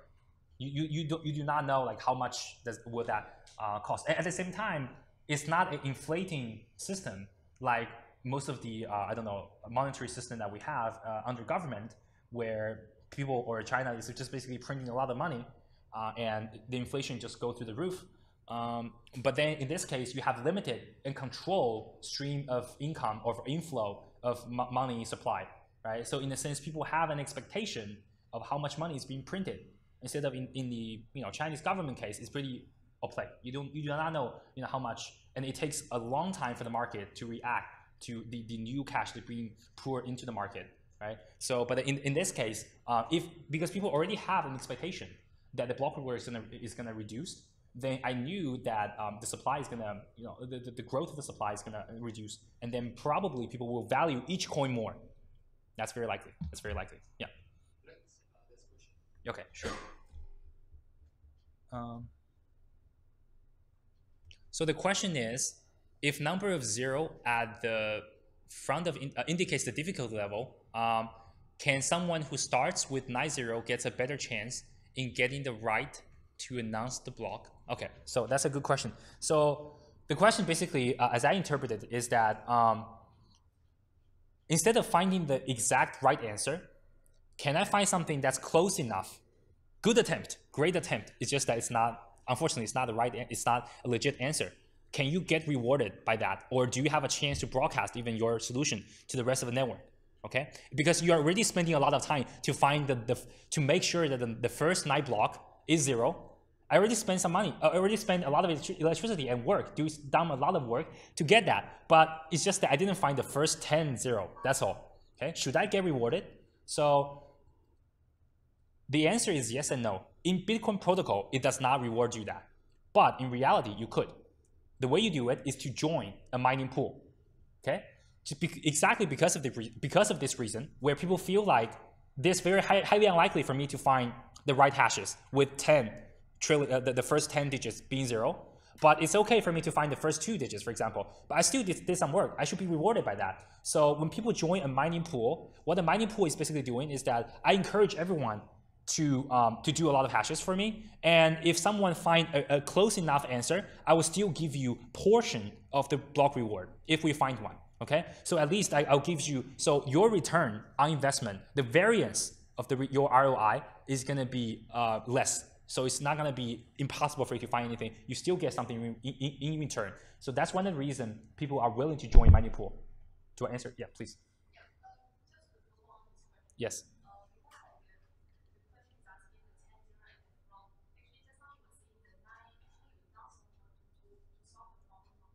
Yes.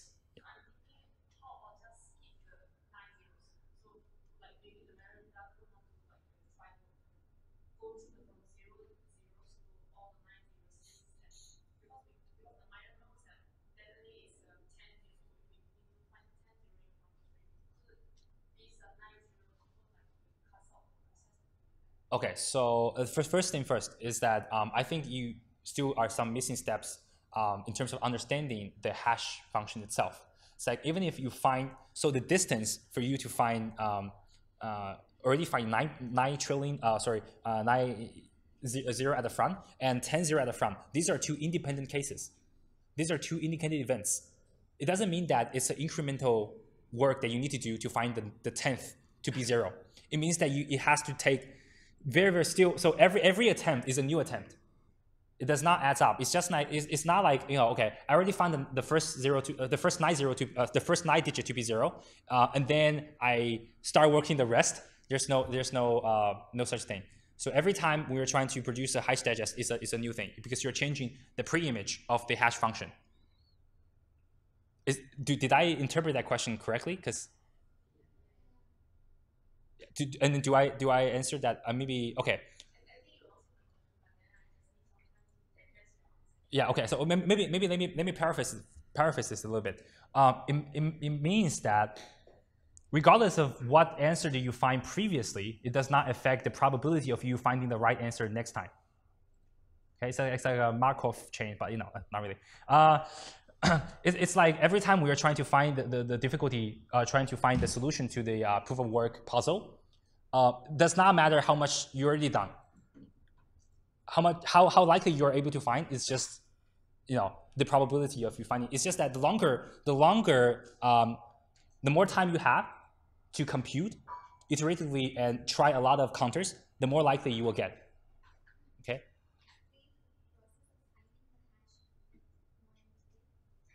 Sorry, what? Okay, yes. Yeah, so so um, the, the way that you solve, the only possibility for you to accelerate the puzzle solution finding process is to have, to calculate more hashes per, per unit time. That's the only way, okay? So you have to calculate a lot of a lot of hashes to find that. So, um, and the more you do, it's like every time you, you, you did something, you did announce, you're eliminating that from the possibility of solution. So every time you eliminate one, eliminating one, um, and uh, the, the, the way that you can accelerate the process is just that eliminate it faster. That's all. So the more hashes you do, the quicker you can find. Um, and the, the, the, longer time you do, the more elimination you, you do. So you, you know like these nonce doesn't that wasn't the, the, the, solution. And then um, the more likely you will get uh, later on. So that, that's that's the idea. Yeah. Okay. Thank you for the question. If you have any questions, I think uh, we can answer offline later on.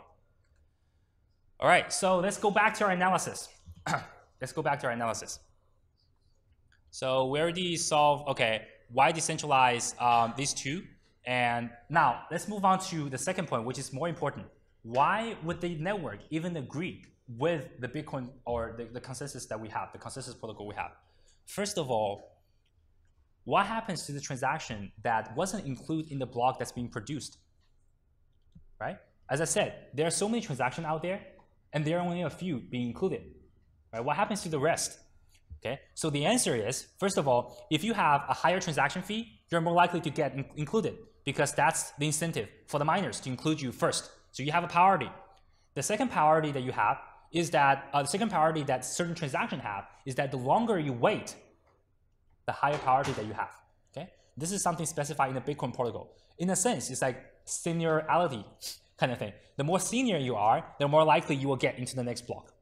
Okay, um, even if you didn't pick up, someone else might pick up. So when certain transaction is being heard by some uh, miners, the miner will first of all verify that this transaction is true. Once he verifies that, he will put that into a mempool. Mempool meaning memory pool. Okay, the mempool is something that you will see over recursively over and over again if you read some Bitcoin Wikipedia page. Okay, mempool meaning that a pool of things that the, the miner is keeping in his memory space that he already verified but hasn't may or may not be included into the block yet. Okay, so every time when a block is being found, the the transaction that still remains in the memory pool will have like plus one, add one on their age. So their age, the, num the, the number of blocks that already stay in the memory pool will plus one, in the sense that seniority just increased by one. So even if some new, if let's say uh, both of these transactions have the same uh, transaction fee, so it's the same incentive for the miners to include. Now the miners supposedly uh, specified by the protocol is supposed to pick up the more senior one. Okay, that's how even if you did not get included into this block, it's very likely that in a two or three blocks you will get included. So senior block have a higher priority. So the next question, of course, is transaction that I didn't even hear about.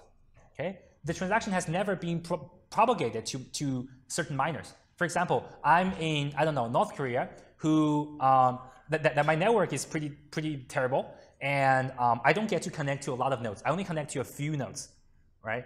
Um, now, what happens is that, and it takes a forever for uh, from some some transaction in United States to North Korea, for example, right? So what happens if some transaction I didn't, as a miner, I didn't hear about? So the idea is that once you hear about a block, the first thing you do, the, the, the miner will have to uh, tell you all the transaction is included in this block. So you will have to verify all the transaction. Okay, even if you do not hear about them previously, once you receive that block, you can you can verify that that transaction. Okay, does that make sense? Right. So you can verify that transaction and then uh, make that block as as their history and start building on on top of that. Okay, it doesn't have to be something you originally hear, but as long as the block is being proposed to you, you can verify all the transaction within it. Okay. Now the next question is, will it happen if some invalid block gets accepted. If let's say I find something, I produce a Merkle root that is fraudulent, or I include a transaction that actually is wrong, doesn't have a signature, a valid signature, or I create as a miner, I create more than I deserve in the Merkle tree, in the transaction tree. What happens if an invalid block gets created? The of course the answer to this is once you did that, um, we're assuming that most people are honest, most of the miners are honest, then most of them would not accept your block because there's no incentive for them to accept an invalid block.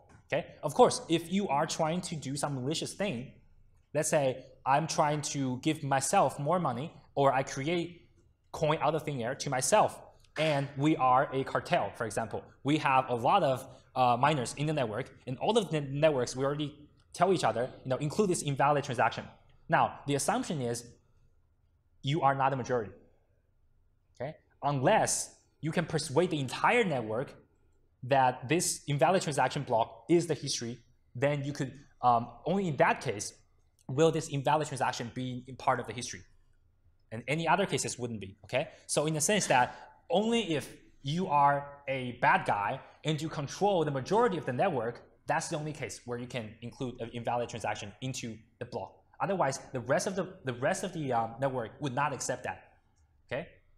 Because they do not have any incentive to, to include this invalid block. It does not do any good to them. And plus, if let's say, uh, very, very interesting, this is where crypto economics comes in because everyone has a strategy of choosing. Let's say if I'm someone who hear from an invalid, who I, I listen, I, I, knew there's an invalid block broadcast to me, okay? And although this invalid transaction does, has nothing to do with my interest, I still include this. I start building on top of this block right? The way, the way I express my accept acceptance is by implicitly building on top of this block, okay? So what happens is, it's very likely that the majority of the network would not accept this block. Meaning that they are actually building on top of some other blocks. Meaning that my electricity or my time that I spend on building this block on top of this invalid block is going to be wasted. I will not be accepted by the majority network. And if my block does not accept by the majority network, it means that I do not get the block reward. I do not get the transaction fees. So that's where the crypto economics comes in, where I have the incentives to build on top of valid blocks because that I am assuming the rest of the block, the rest of the network will do so as well. Okay, so if I build on an invalid block, I would do, I would not. In, at the end of the day, after a few blocks, I will find out I'm not the longest chain because most people wouldn't build on that. Okay, so that's where crypto economics com comes in. Okay, uh, yeah, go ahead. Uh, so you said that, uh, so say I have a transaction. Yeah. And uh, um, so that other miners have a priority of um, mining on my transaction. Yeah. Like, uh, I have, I have a transaction fee. Yeah. And the higher it is, the more likely they are to uh, accept the. Yes. So uh, you said seniority also plays a role. So seniority is the time that you have been beating. Yes. So even though I have a lesser transaction fee, Mhm. then a person who is like newer to the network, Yeah. if I wait for long enough, it will get accepted. Yeah. Is that- is that- So, um, so you're asking how do you compare the weight of seniority and the transaction fee? Because they're like almost opposite. Yes. So, uh, so I think uh, one example, of course, is that let's say uh, you are pretty, your transaction is pretty senior, meaning that you already wait for one hour, but you it, never get accepted uh, because the transaction fee that you pay is just too too small.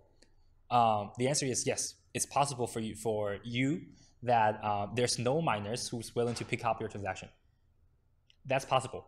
But at the same time, what you can do is if you are a miner yourself, you can include your transaction even if it does not pay much to yourself. You just want to create, you just want to include your own transaction. Does that make sense? And you can create your own coin. And other people doesn't care how much transaction fee people pay you. Once you create the new, the next block that is valid, people will include that transaction anyway.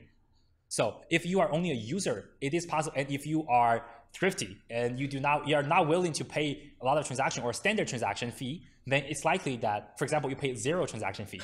It's it's it's likely that your transaction is going to be floating around in the network forever. No one is going to pick it up. Even though it's a valid. Even if it's a valid transaction, even if you have a very high seniority, people just do not have the incentive to pick it up unless you are the miner itself. Go ahead. Go ahead. Uh,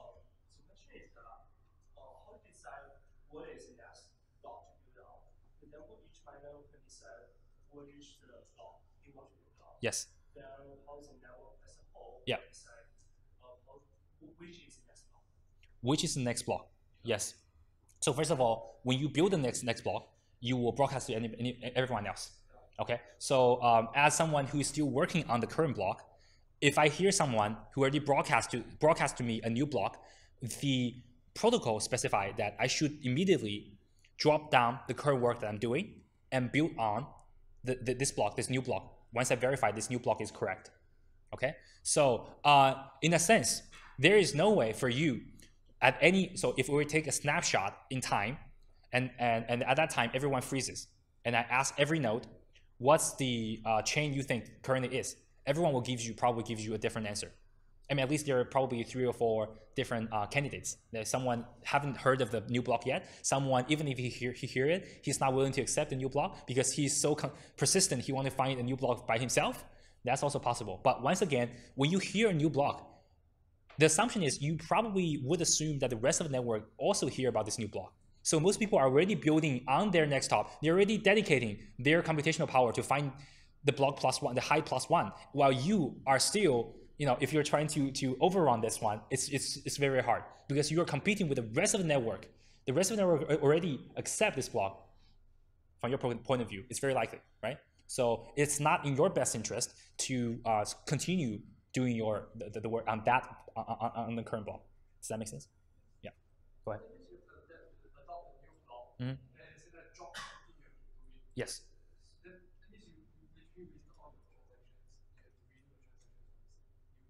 Yes. So uh, the question is like, um, if you receive a new block, are you supposed to drop everything you're doing? The, the answer is yes.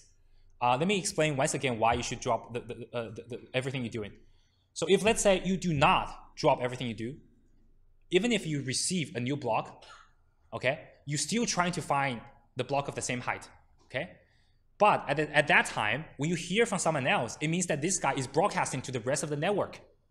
It means that the rest of the network probably already hear about this block already. Meaning that most of them are probably already start building the next next block. You see what I'm saying? The next block on top of this new block. Okay? If you're still trying to find this one, it's really hard for you to become the longest chain because there's only limited amount of computational power you have to compete with the rest of the the rest of the network who is already building the longer chain. Does that make sense? So you do not have the incentive to continue building your own unless you have a huge portion of computational power. Okay? Okay. Um, I'll probably go back to that question a little bit later um, and a little bit more because that's a, that's a good question. It's a very good question. Okay. Yeah. So you see that, for example, there's the big who actually submit their transaction, Mhm. and the one who gives the high transaction fee gets accepted more easily and stuff. Yes. So for let's say minus, Yeah. when we pick up that transaction and we try to verify it, Yes. and we are hoping to get a, a, Transaction fee. a, a, a fee, right? Yes. So there's a lot of uh, people who want to do the one with the highest fee. Yes. Okay. So there's a lot of competition to be who's the first one. Yes. And let's say there's a transaction which has no uh, fee, Yeah. but there's always a block reward. Yes. And you say that you know guy will be floating around. Yeah. If you pick him up and you finish the verify, you still get a reward. Yeah. Yes. Okay. Um, let, let me let me just address that question. So he's basically asking that um, once, even if you're not getting transaction fee from that transaction, you're still getting a block reward. Why not just pick it up, right? Why not? It's just is, is that the question? Like no one is doing it. No one is doing it. Why not? Okay. So the answer is right now in Bitcoin, every block has a limit, has a block size, upper bound, meaning number of transactions you include in each block is capped. So if you take some transaction that does not give you transaction transaction fee, then you're missing out some transaction fee basically. Once again, right now in Bitcoin, so this is something I miss. I should mention, okay? This is something I miss. Right now in Bitcoin, the size of the block is fixed, is capped. You should not go bigger than one megabytes. Okay? Uh, Bitcoin Cash basically extended that to a bit more, a, a- big larger block size. Okay? So the block size is fixed, meaning that the number of transactions you can include is fixed.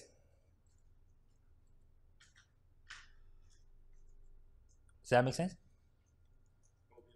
No, okay, okay, okay. So, if you can, um, you can build a huge Merkle tree, include a lot of transaction, even if some transaction doesn't pay you any transaction fee, you could.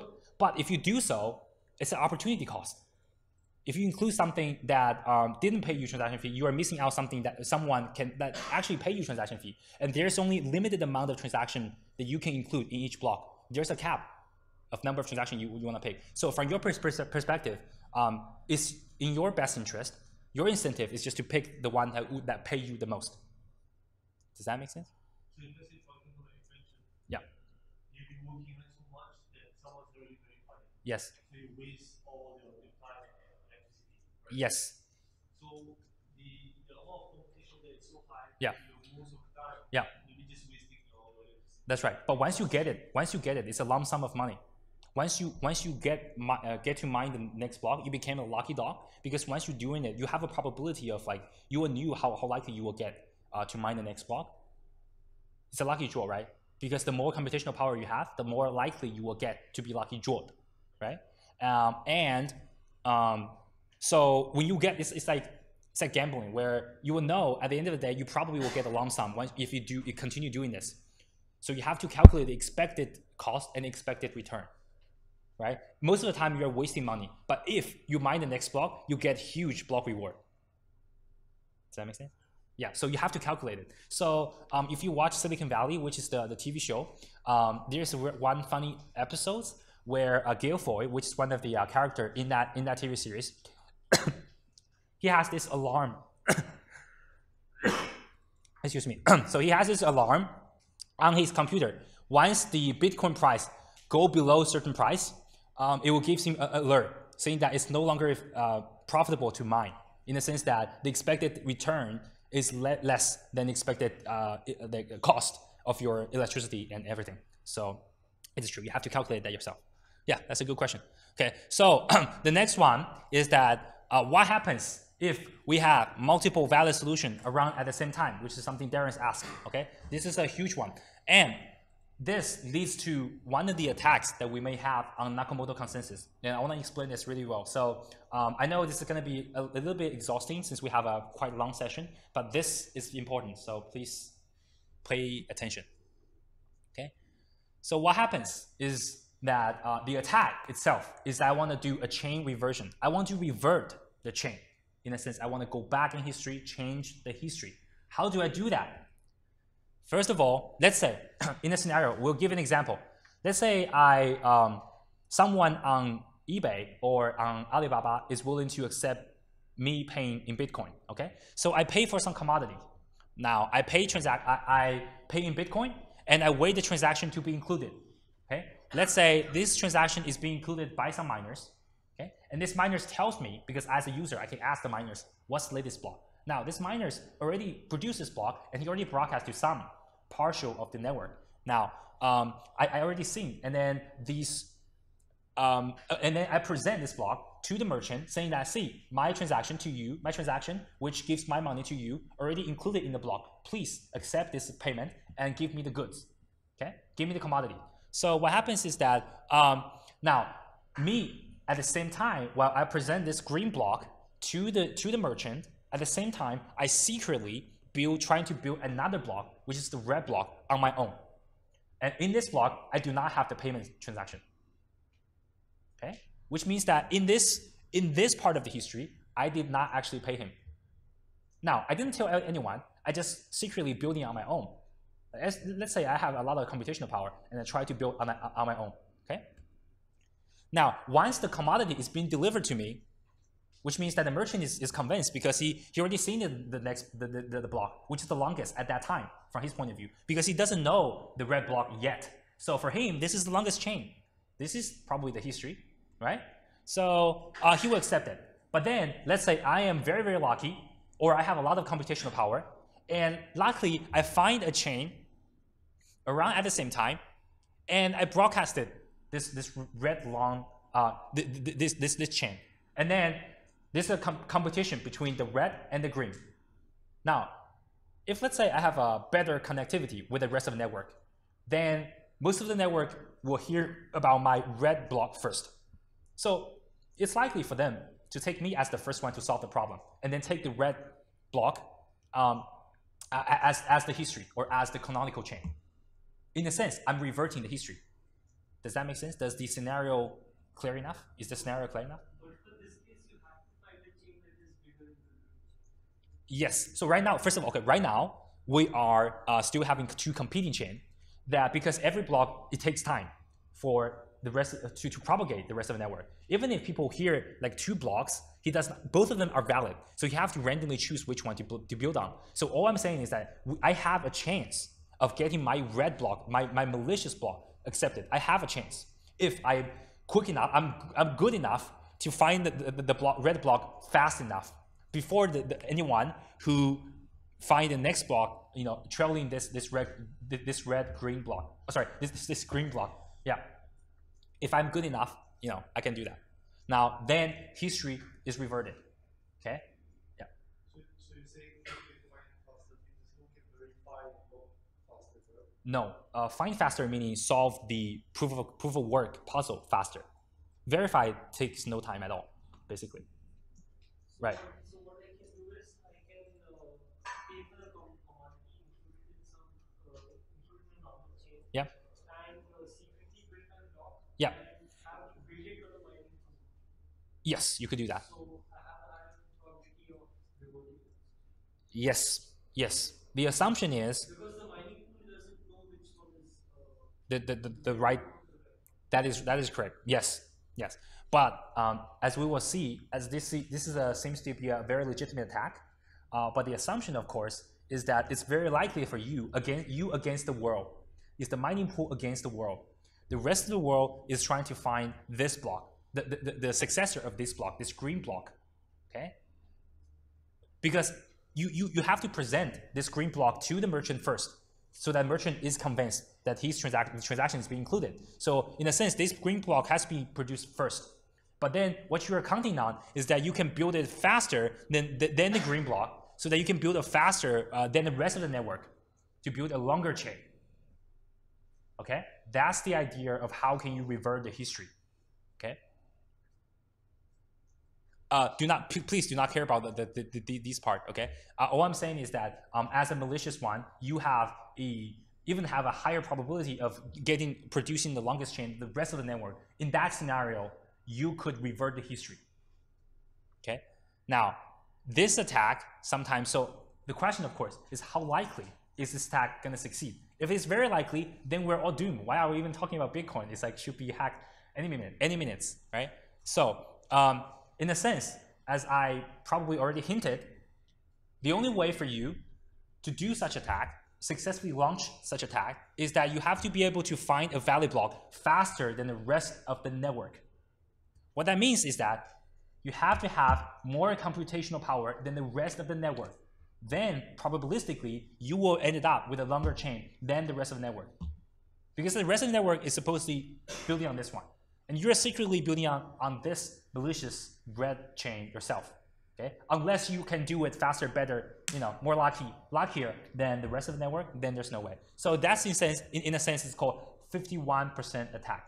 If you have 51% or even more computational power of the network, meaning that you knew probabilistically you should have a higher chance of getting the next block than the rest of the network combined.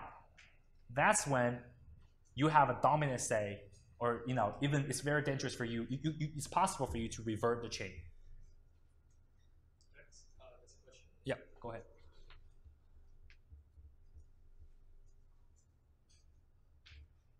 Is it this one? Is it this one? Okay. Uh, so the question is, suppose the current transaction pool has a number of transactions. How do multiple miners, okay, uh, Apple, uh, typo, reach an agreement on which is the next transaction to verify? Uh, as I said, the, the transaction pool has a lot of transaction, and all of them. Okay, which one to verify? You can verify anyone you want. It's just that when you include verify itself, it's really quick. It's really fast. It's just doing the verify function in the DSA, which takes only nanoseconds. So you can choose. You can you can verify everything in just under one microsecond. Um, so it doesn't have to. You don't have to care about that. All you have to care about is which transaction to include. That's a legitimate question.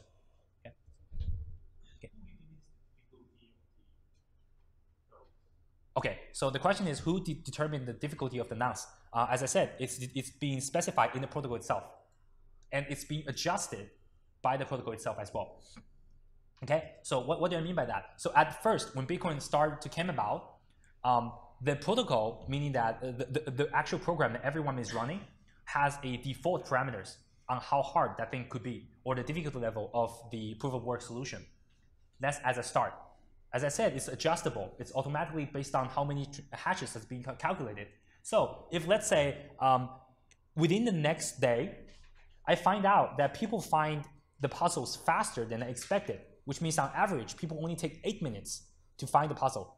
What I so as a protocol itself, because you, there's a timestamp in every block headers, so you'll see how long does it take to find the next block, right? So as a protocol itself, as a network itself, you will know very likely some more computational power has already joined the pool to reduce this average time or average block, block interval. And that's when uh, the protocol itself, everyone should agree that we are um, increasing the difficulty level. So it's like automatically adjustment uh, by, by the uh, consensus itself. So let's say um, after one day, so there's a, there's a period of time that is fixed. So after this period of time, people will look on the, the past, for example, 100 block, and then calculate the difficulty level for the next 100 blocks. So if, if let's say for the next 100 blocks, you are still trying to propose a block that only satisfy the difficulty level of the last epoch, the last period, then no one will accept your block because they do not agree on you finding the right proof of work um, puzzle. But that's a good question. Yeah. Okay. There's one more I see the, the mempool Uh, okay, so this is the question. Question is, where is the mempool stored in the blockchain? mempool is never on the blockchain. Mempool is in your local machine. Mempool is something that a miner store in your local machine, meaning that first of all, your machine is connected to the network. When someone sends you a transaction, this transaction hasn't been, it's not part of the blockchain at all because you haven't proposed a block yet. So you have to verify that. Once you verify that, it was in your, your, your memory space. So it's in your, it's only local to your view. You have the liberty to take some of those and trying to build the next block. And only when you propagate and broadcast this block will the rest of the network hear about this transaction. Otherwise, they might not even know whether you knew this transaction or not, or whether you verified the transaction or not.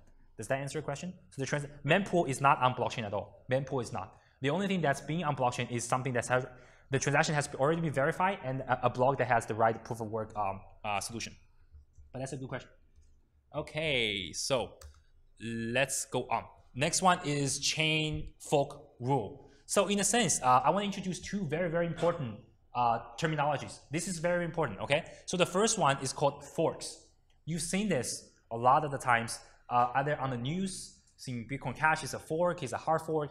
Uh, you probably doesn't know what it means. Essentially, what a fork is, is just two different versions of history. That's what it is. Okay, two different version of history is a fork. For example, uh, the red one, the red chain here, and the green chain here, they are forks because they do not have the exact. Although at, at some point they share the same uh, parents, still, up until this point or the latest one, they do, they are not. They are completely two different uh, history. Okay. Now, uh, there is usually, like I said, two block can be mined at the same time. Two valid solution can be mined at the same time, and a block takes time to propagate to the rest of the network. So it's usually the case that you can see a temporary fork or different view of what the current blockchain looks like from different miners' perspective. Okay, so that's a temporary fork, but this divergence of, of the current view of the blockchain states is going to converge with as time goes along, as block being propagated to the rest of the network. Okay, that's the idea.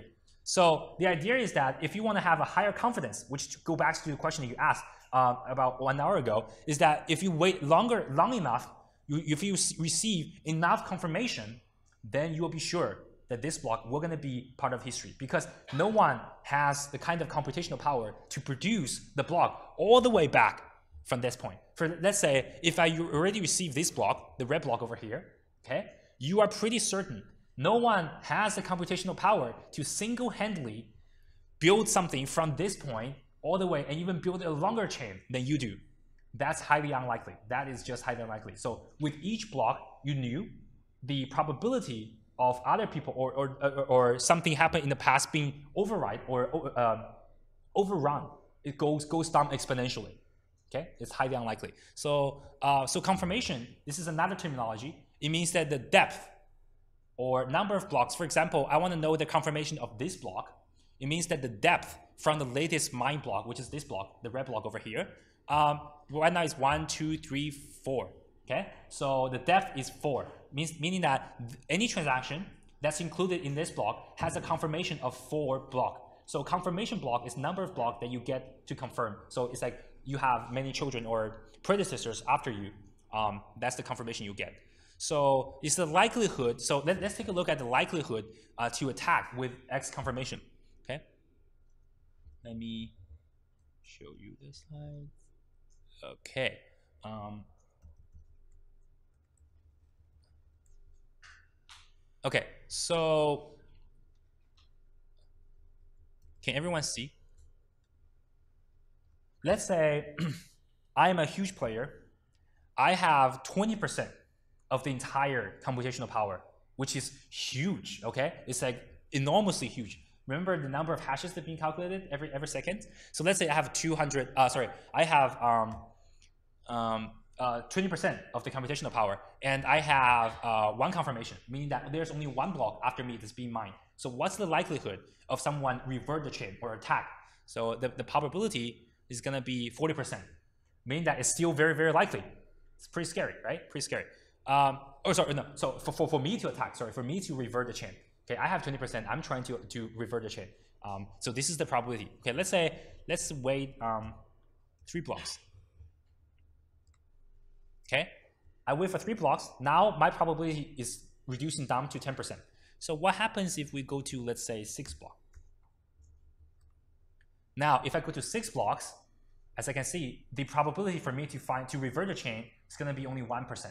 Now, I'm assuming I have 20% of the computational power, which is probably as powerful as NSA right now, which is all, almost all highly unlikely. Usually, what you will get, even if you are a mining pool, sometimes you know, at, you know individually it's like very small.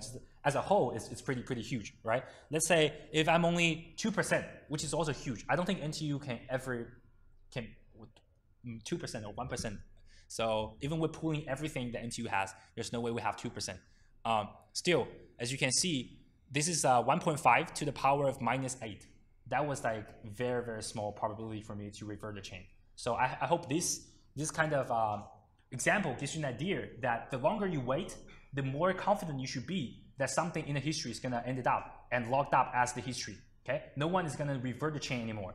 It's the, the likelihood as the chain grows of this of this transaction or this block, the previous historical block being reverted is go, goes down exponentially. That's the idea. Okay, great. So the recommendation uh, by the Bitcoin protocol is that you wait six block, which is one which is roughly one hour because every block interval is like 10 minutes. Okay, so if you wait six block, then you know it's fairly confident. So of course, some people will ask, doesn't that mean that if I want to buy something using Bitcoin, then I have to wait one hour? Isn't that too long to wait? It's like if I use Visa at the spot, it's like five seconds.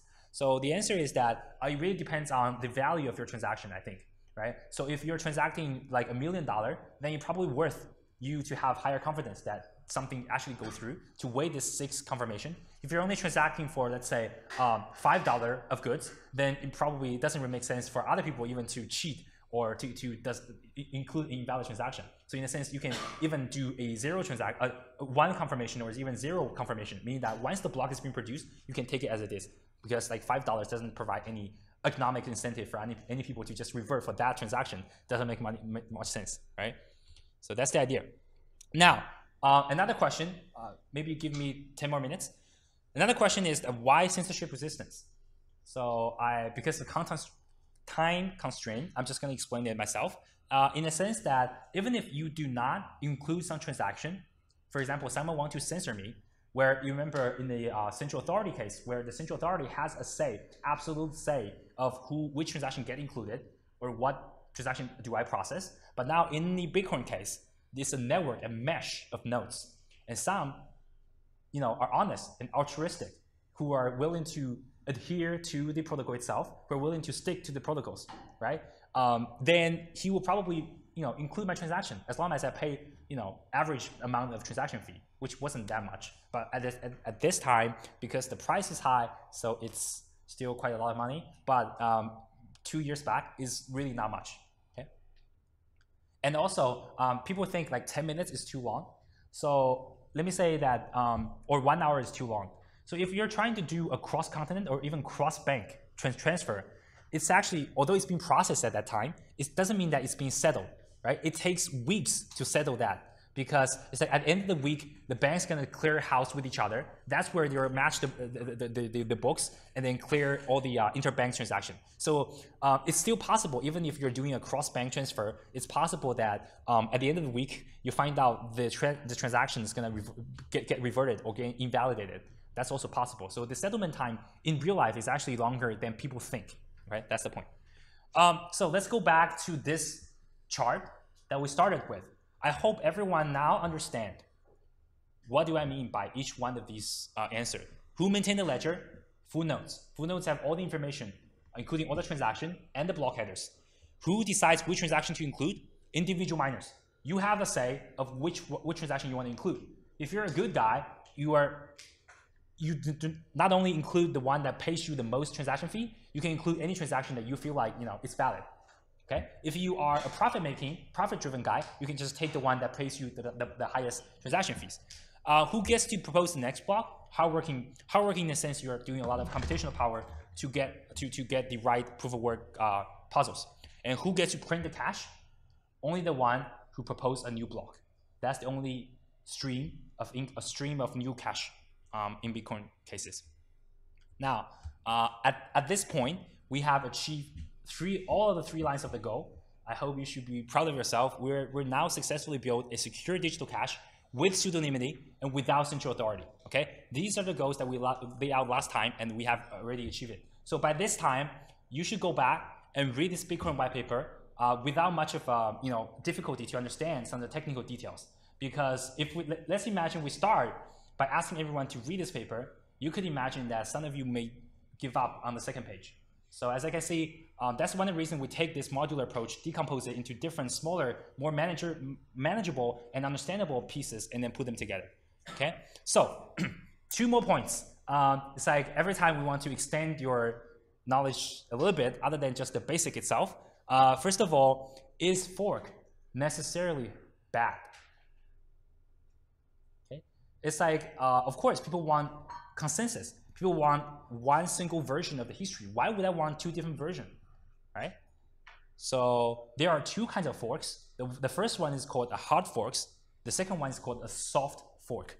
The hard fork means that any changes to the protocol that's incompatible, that is not backward compatible, meaning that you, um, as a as a program that uh, as a node, the program that running on your on your network um, has to change, and um, anything that's happening in the new protocol does not is not compatible with the previous one or the previous node. Those who didn't upgrade their software could not process the one that's coming from your software. That's called a hard fork. For example, Bitcoin Cash. So Bitcoin Cash changed the parameters, the, the, the hard-coded parameters in Bitcoin case, which is the block size. So Bitcoin specified there's only one megabytes of uh, transaction that you can include in certain block, but now Bitcoin Cash says that's just too little. I want to increase this block size.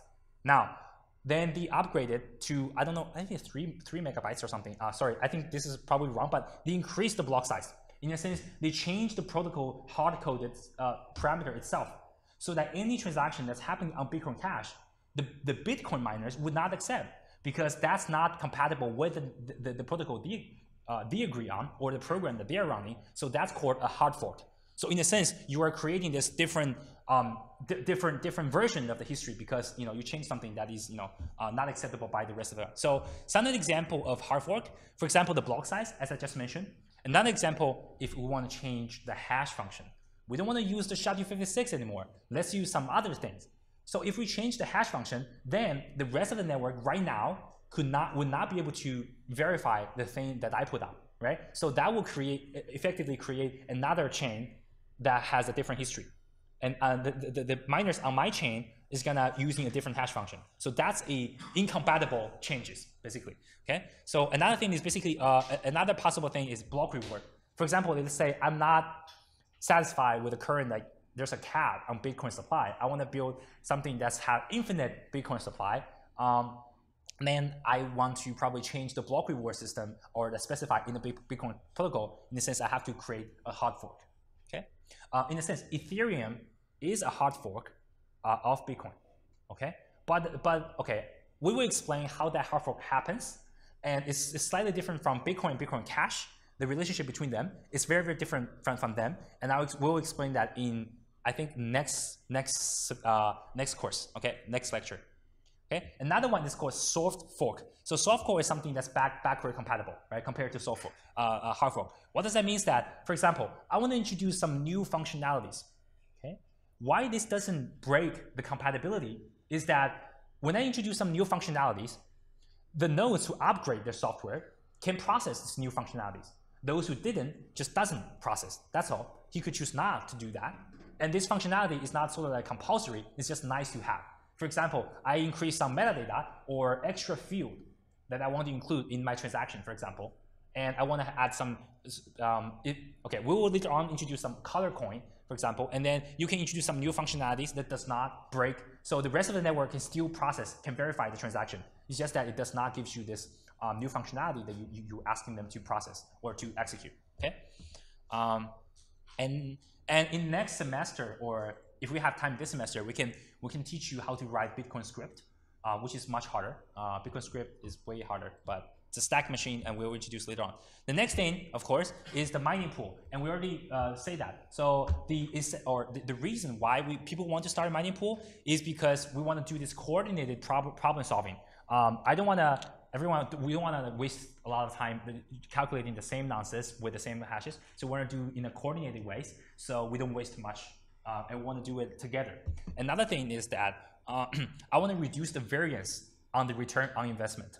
Okay, because if let's say I'm mining on my own laptop, it probably take me a million year to find the next block, which means the variance is very high. It might I, I already died for another million year, it's like it's still not finding a next block. So there's no return at all. I want to reduce that variance by joining a pool, and effectively by joining this pool, um, when someone finds the next block, the, the one who coordinated this will give me will give everyone in the pool, for example, some uh, little reward. So I have a little uh, a smaller variance. Or if I find something that's closer, like um, uh, what Ziqi mentioned, uh, if you find something that's that's close enough to, to the actual problem, I find 9, 0 in front instead of 10, I can still get rewarded because as a mining pool, um, I, it, it, proves that I'm actually contributing to the mining pool. I'm actually doing work, okay? So that's also uh, one way to reduce my, my ROI variance.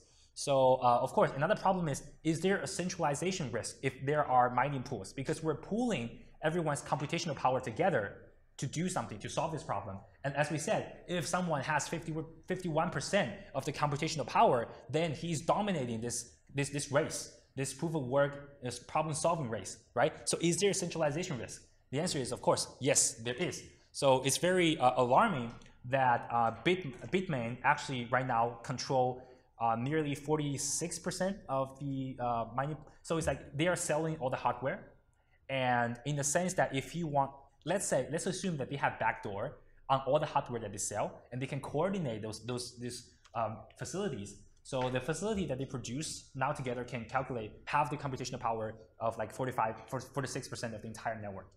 Um, although the owner of those hardware might belongs to different one, different people, right? It might belongs to some U.S. Uh, even government, some you know uh, individual identities, uh, sorry, individual I don't know miners. Um, but in a sense, there is this, uh, if they are coordinating together, and it's easy if you're using the same hardware, it's easy to coordinate, right? Then there is this centralization risk. But uh, once again, it's just that um, even if you are, I think one of the uh, arguments that Vitalik usually have is that the social coordination is actually harder than theoretic ones. So theoretically, uh, so there are that's why many people say that Bitcoin works better in reality than in theory. In, theory, so in a sense, in theory, uh, Bitcoin might not work, may not even exist, should, shouldn't be you know, sustaining until today. Uh, but then because of the social coordination is so hard, and you know, colluding everyone and convincing everyone on board is very, very hard. It's like how do we, even the profit sharing, how do we share the profit, for example, right? And how do we prove that how much work, you, how much you should get, uh, or let's say if we collude, someone find the solution and doesn't ends up give, giving you the money, and how do you do that? Uh, everything, uh, the social coordination adds an extra layer of uh, this kind of uh, centralization resistance, right?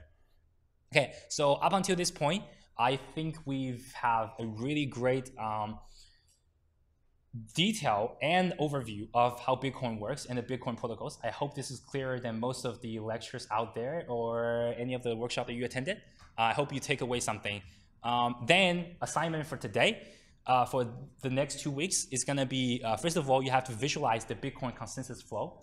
Um, once again, you will be receiving the lecture recording as well as the slides. So um, you should go through the, it took me quite a while to produce, uh, to, to make those diagrams. So it's nice to have a visual representation instead of just words, right? So you should go through the, the, the flow yourself. Um, then the, the reading, of course, is uh, the, same, the same blog post. I think some of you might read it. So the uh, last time we asked you to read the first half, so this time is the second half. Okay? Then the next reading is the Bitcoin white paper. Okay? I hope some, I, I, knew some of you already read the uh, Princeton textbook, uh, chapter one, and some of you already asked very, very good question. I think by, up until this point, the question that you, you asked has already been answered in, our, in this workshop. Okay? And right now, it's your job to read Bitcoin white paper guys, Bitcoin white paper. Please, please go go back and read it. And if you have any question, post your question on, uh, on Telegram. Um, and then, in terms of thinking, the first one is what are some problems with proof of work? Okay, this is the one I I, I think everyone should think. You know, this is it's, not hard. Okay, what are some of the problems of proof of work? Then, um, if you have extra time, so you can still continue on thinking uh, how to how to uh, do a proof of non-membership in Merkle Tree. Okay, so that's the all assignments that we have, and thank you very much. That's all.